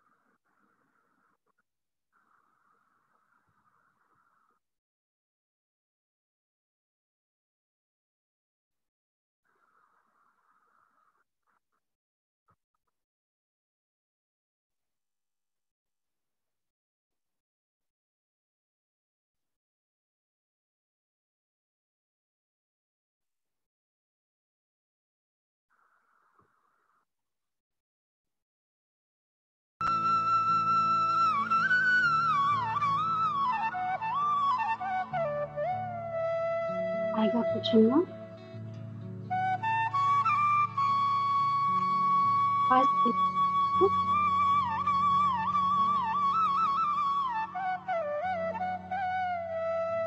హాయిగా కూర్చుందాం ఫ్రెండ్స్. మ్యూజిక్ కొంచెం తగ్గించి మీ వాయిస్ అప్పుడు క్లియర్గా ఉంటుంది. ఉంచండి మ్యూజిక్. అది కొంచెం లైట్గా ఉంచి మీ వాయిస్ వినిపించేలాగా.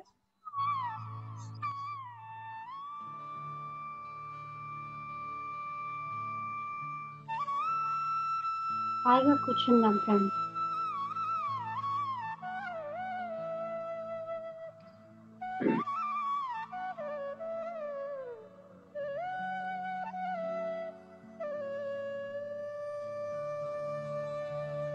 కళ్ళు మూసుకుందాం. చేతిలో చేయి వేసుకుందాం.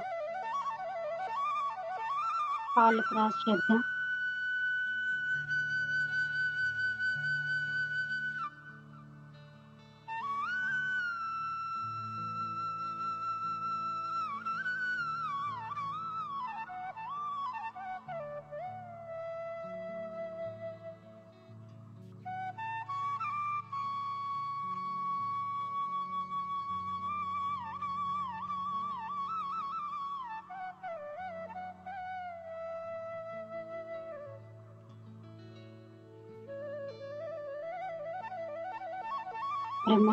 తన భర్తగానే ఆహ్వానించుకుందాం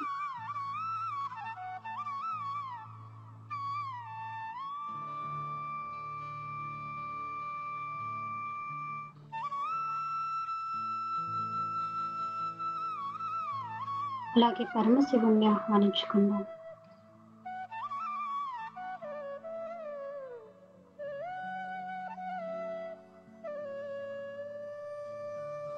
మహా అవతార్ బాబాజీని ఆహ్వానించుకుందాం.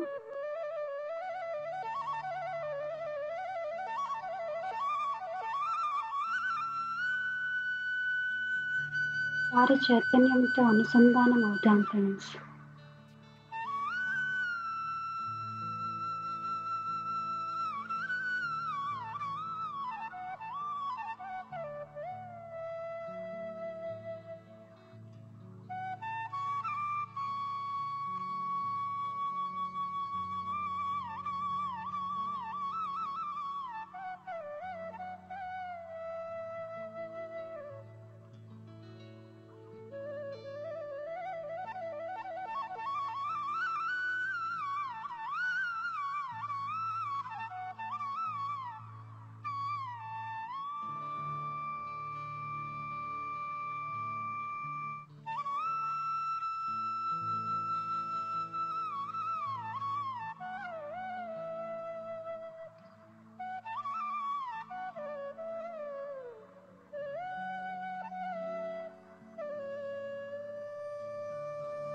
ప్రస్తుత క్షణంలో ఉందాం ఫ్రెండ్స్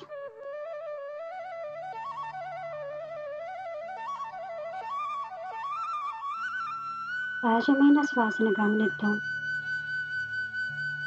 ప్రస్తుత క్షణంలోనే అంతా ఉంది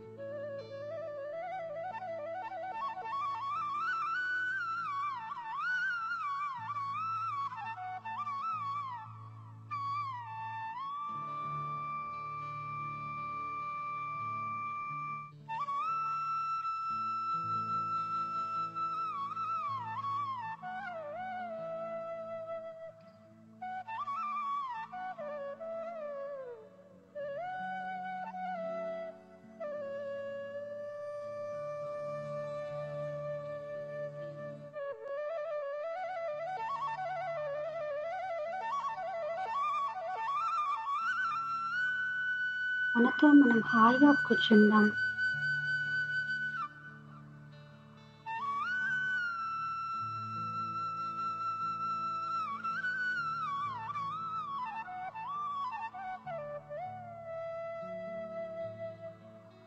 గతానికి సంబంధించిన ఆలోచనలను కానీ భవిష్యత్తుకు సంబంధించిన ఆలోచనలను కానీ ఏది కూడా ఇప్పుడు అవసరం లేదు. కేవలం శ్వాసతో అనుసంధానం.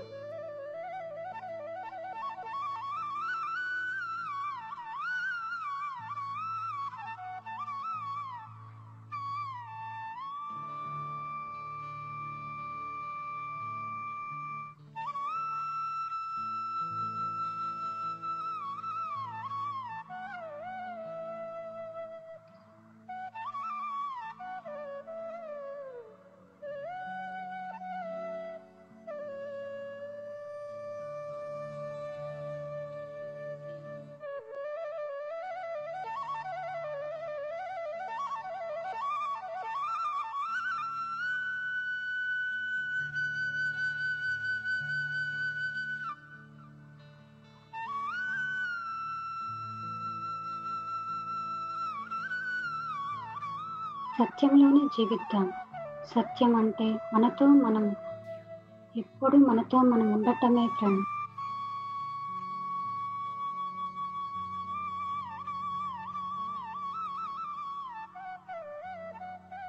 మనతో మనం ఉండటం అనేది ఎరుక. ఆ ఎరుకతోనే మనం జీవిద్దాం.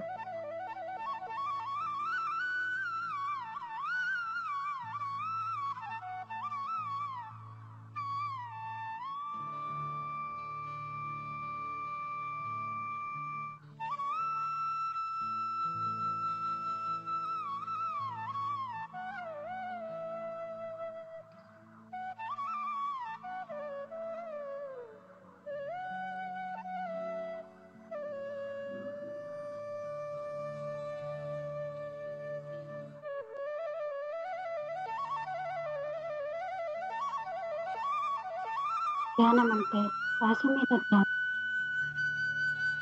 మన శ్వాసే మన గురువు.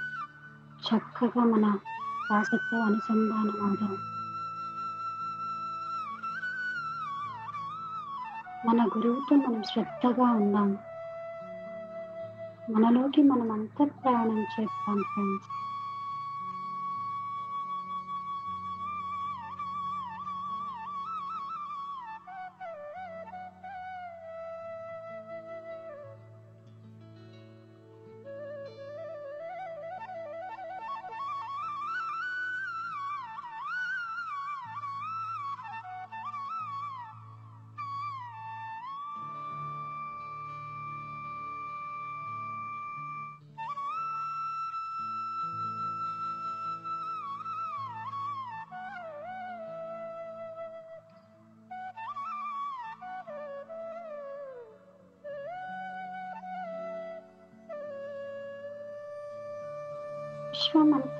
మనలోనే ఉన్నది. దాన్ని కలిపేది మన శ్వాస మాత్రమే.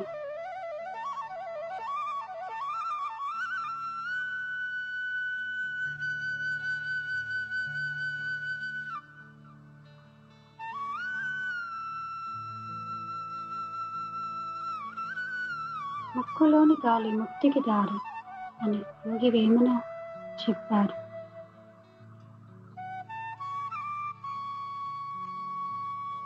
కాయ టూపిరిలో గని అని అన్నమయ్య చెప్పారు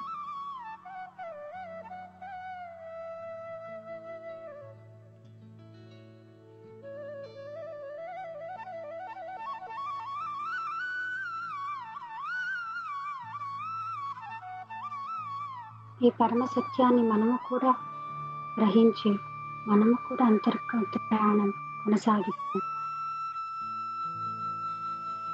మన జ్యోతిని మనమే వెలిగిద్దాం. అపోతిపో భవ అన్నారు బుద్ధ భగవానుడు.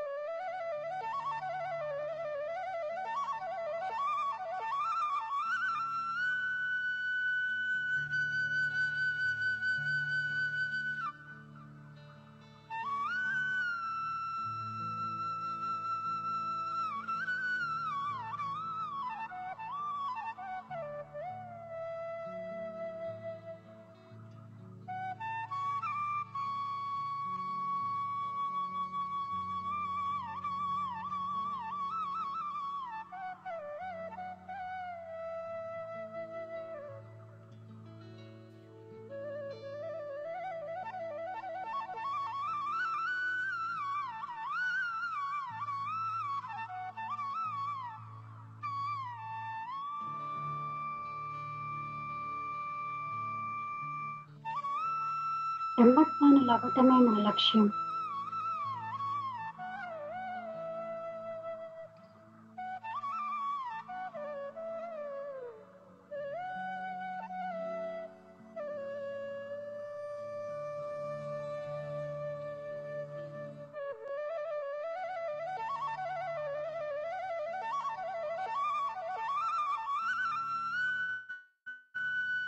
బ్రహ్మర్షులుగా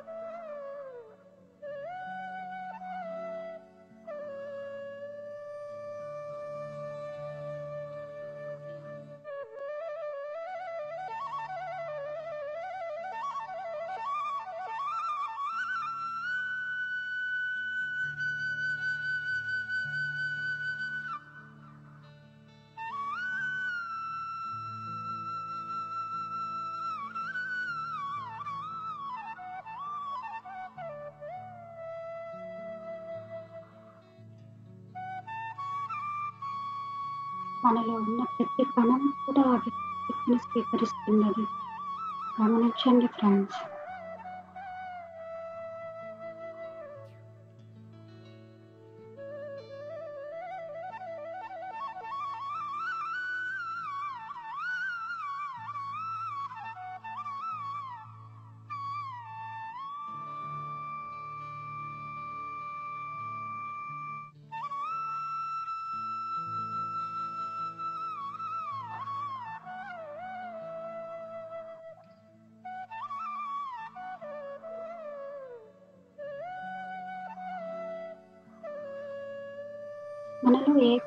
ఎరుక అనేది ఏర్పడుతుంది. గమనించండి.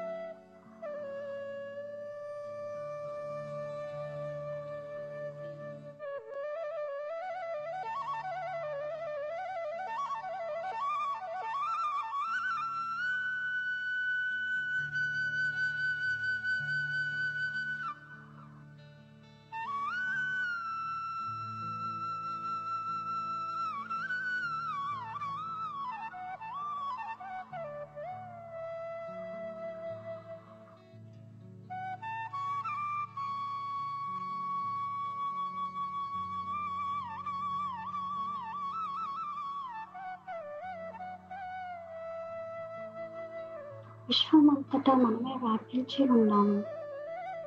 మన ఆలోచన మన మాట మన గమ్యం అంతా కూడా మన ఎరుకే.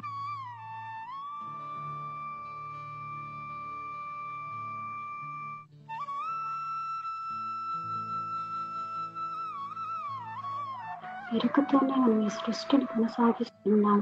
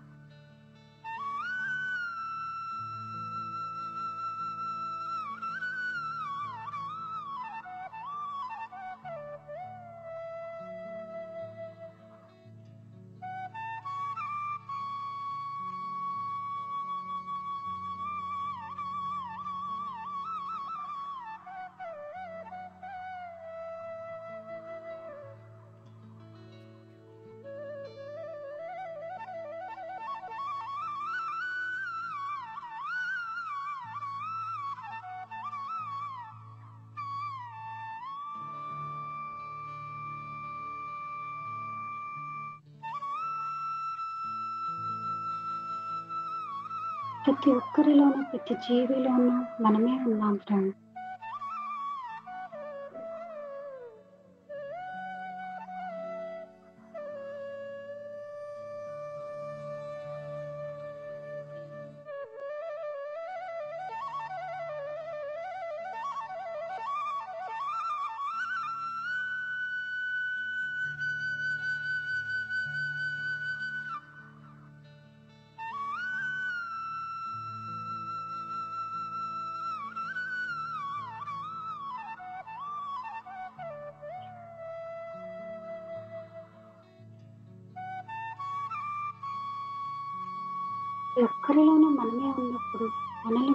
మనం జరగదు.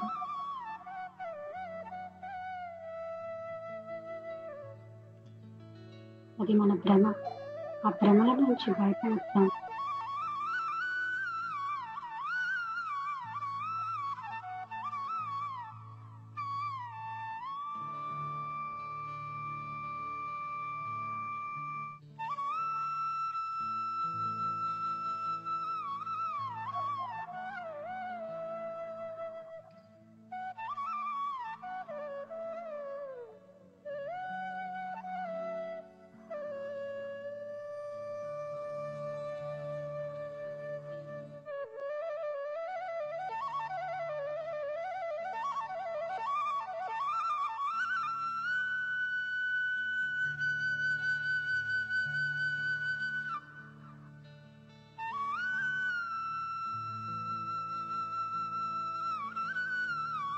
భూమాత చైతన్యంతో అనుసంధానం అవుతాం ఫ్రెండ్స్ ఈ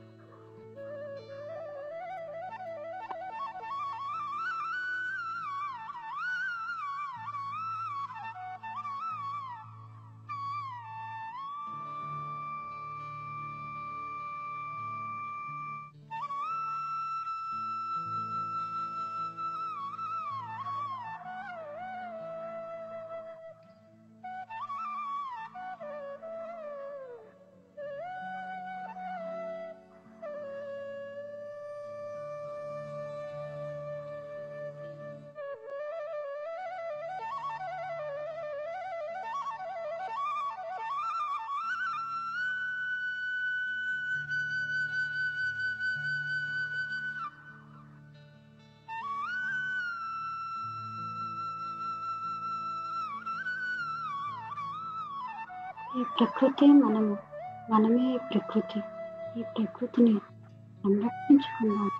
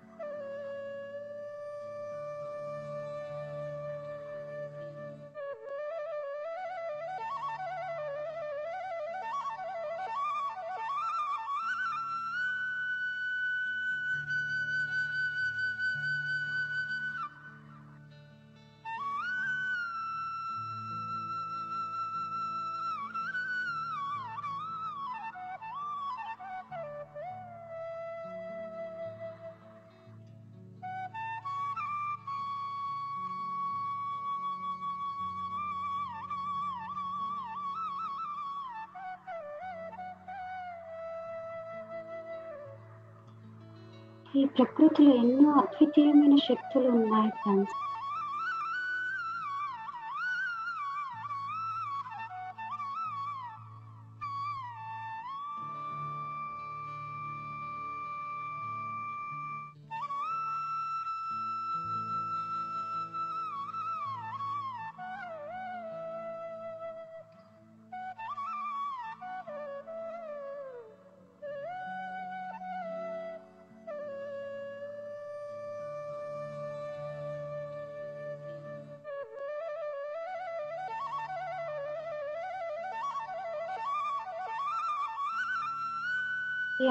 ఈ శక్తులను మనం పొందటానికి ఆస్తులు అవుతాం ఫ్రెండ్స్.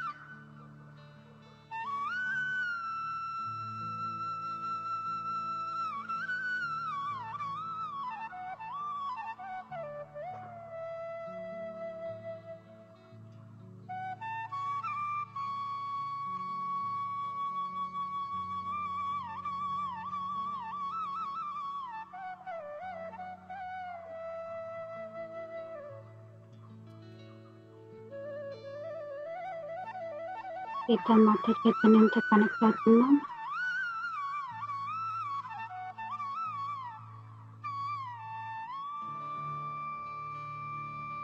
వారెప్పటికీ మన ప్రేమను స్వీ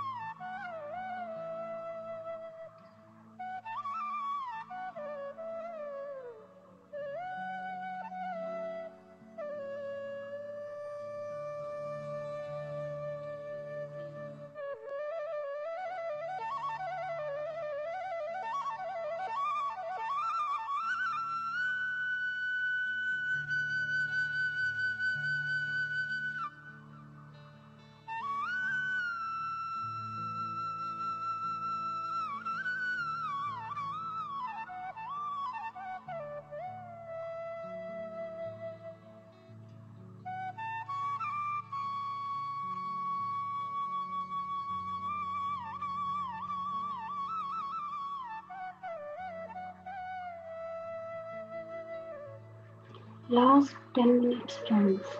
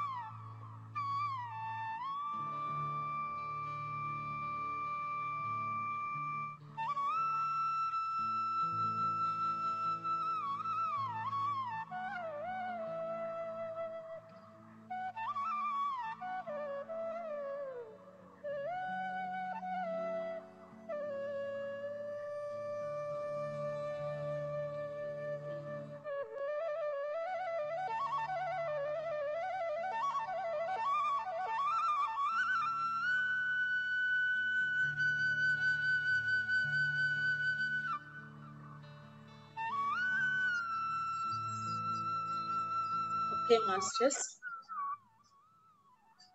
నెమ్మదిగా మీ రెండు అరచేతులు పెట్టేసి కళ్ళు పైన బోర్లించుకుందాం చేతుల్ని తొలగిస్తూ కళ్ళను ఓపెన్ చేసుకుందాం. అద్భుతమైన ఈ ధ్యానానికి ఒకసారి గట్టిగా క్లాస్ ఇద్దాం. మేడం సార్ మరొకసారి మహాద్రష్ట తరపు నుంచి అర్ధనారీశ్వర తరపు నుంచి మీకు ధన్యవాదాలు తెలియజేస్తున్నాం ఈ సెషన్లో పాల్గొన్నందుకు. Thank you thank you very much Karunya గారు. ఓకే మేడం మేడం మరొకసారి మీకు మహాదృష్ట తరఫున కృతజ్ఞతలు. ఆహ్వానించి కానీ ఇక్కడికి వచ్చి మీ అనుభవాలను మాతో షేర్ చేసుకున్నందుకు. Thank you masters thank you both of you madam అలాగే అలాగే రేపటి అర్ధనారీశ్వరులుగా ముప్పైవ రోజు యూకే నుంచి ప్రాణహిత అండ్ తవకిరణ్ గారు వస్తున్నారండి. అలాగే ఈ రోజు మధ్యాహ్నం జరగబోయే శాంతి యాగం కార్యక్రమానికి అటెండ్ అవ్వాలని కోరుకుంటున్నాను. అలాగే మహాదృష్ట ఛానల్ ఎవరైనా సబ్స్క్రైబ్ చేసుకోకుండా ఉంటే ఛానల్ సబ్స్క్రైబ్ చేసుకోవాల్సిందిగా కోరుతున్నాము thank you master thank you ma'am ఈ అవకాశం ఇచ్చిన ఇచ్చినందుకు మా ట్రస్ట్ వారికి నా కృతజ్ఞతలు తెలుపుకుంటున్నాను. మేడం స్వర్ణలత మేడంకి నా కృతజ్ఞతలు. వారి అబ్బాయి సాయి కృష్ణ గారు నన్ను సంప్రదించారు. వారికి నా కృతజ్ఞతలు. ఈ అవకాశం ఇచ్చినందుకు కారుణ్య మేడంకి కృతజ్ఞతలు. నన్ను బ్యూటిఫుల్గా ఇంట్రడ్యూస్ చేశారు. Thank you so much madam. Thank you so much. పిఎంసికి ఇంకొకసారి కృతజ్ఞతలు తెలుపుకుంటున్నాను.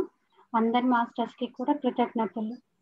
తెలుపుకుంటున్నాను thank you weirs thank you thank you thank you అండి thank you ma'am session end చేస్తున్నాను మేడం ఓకే అండి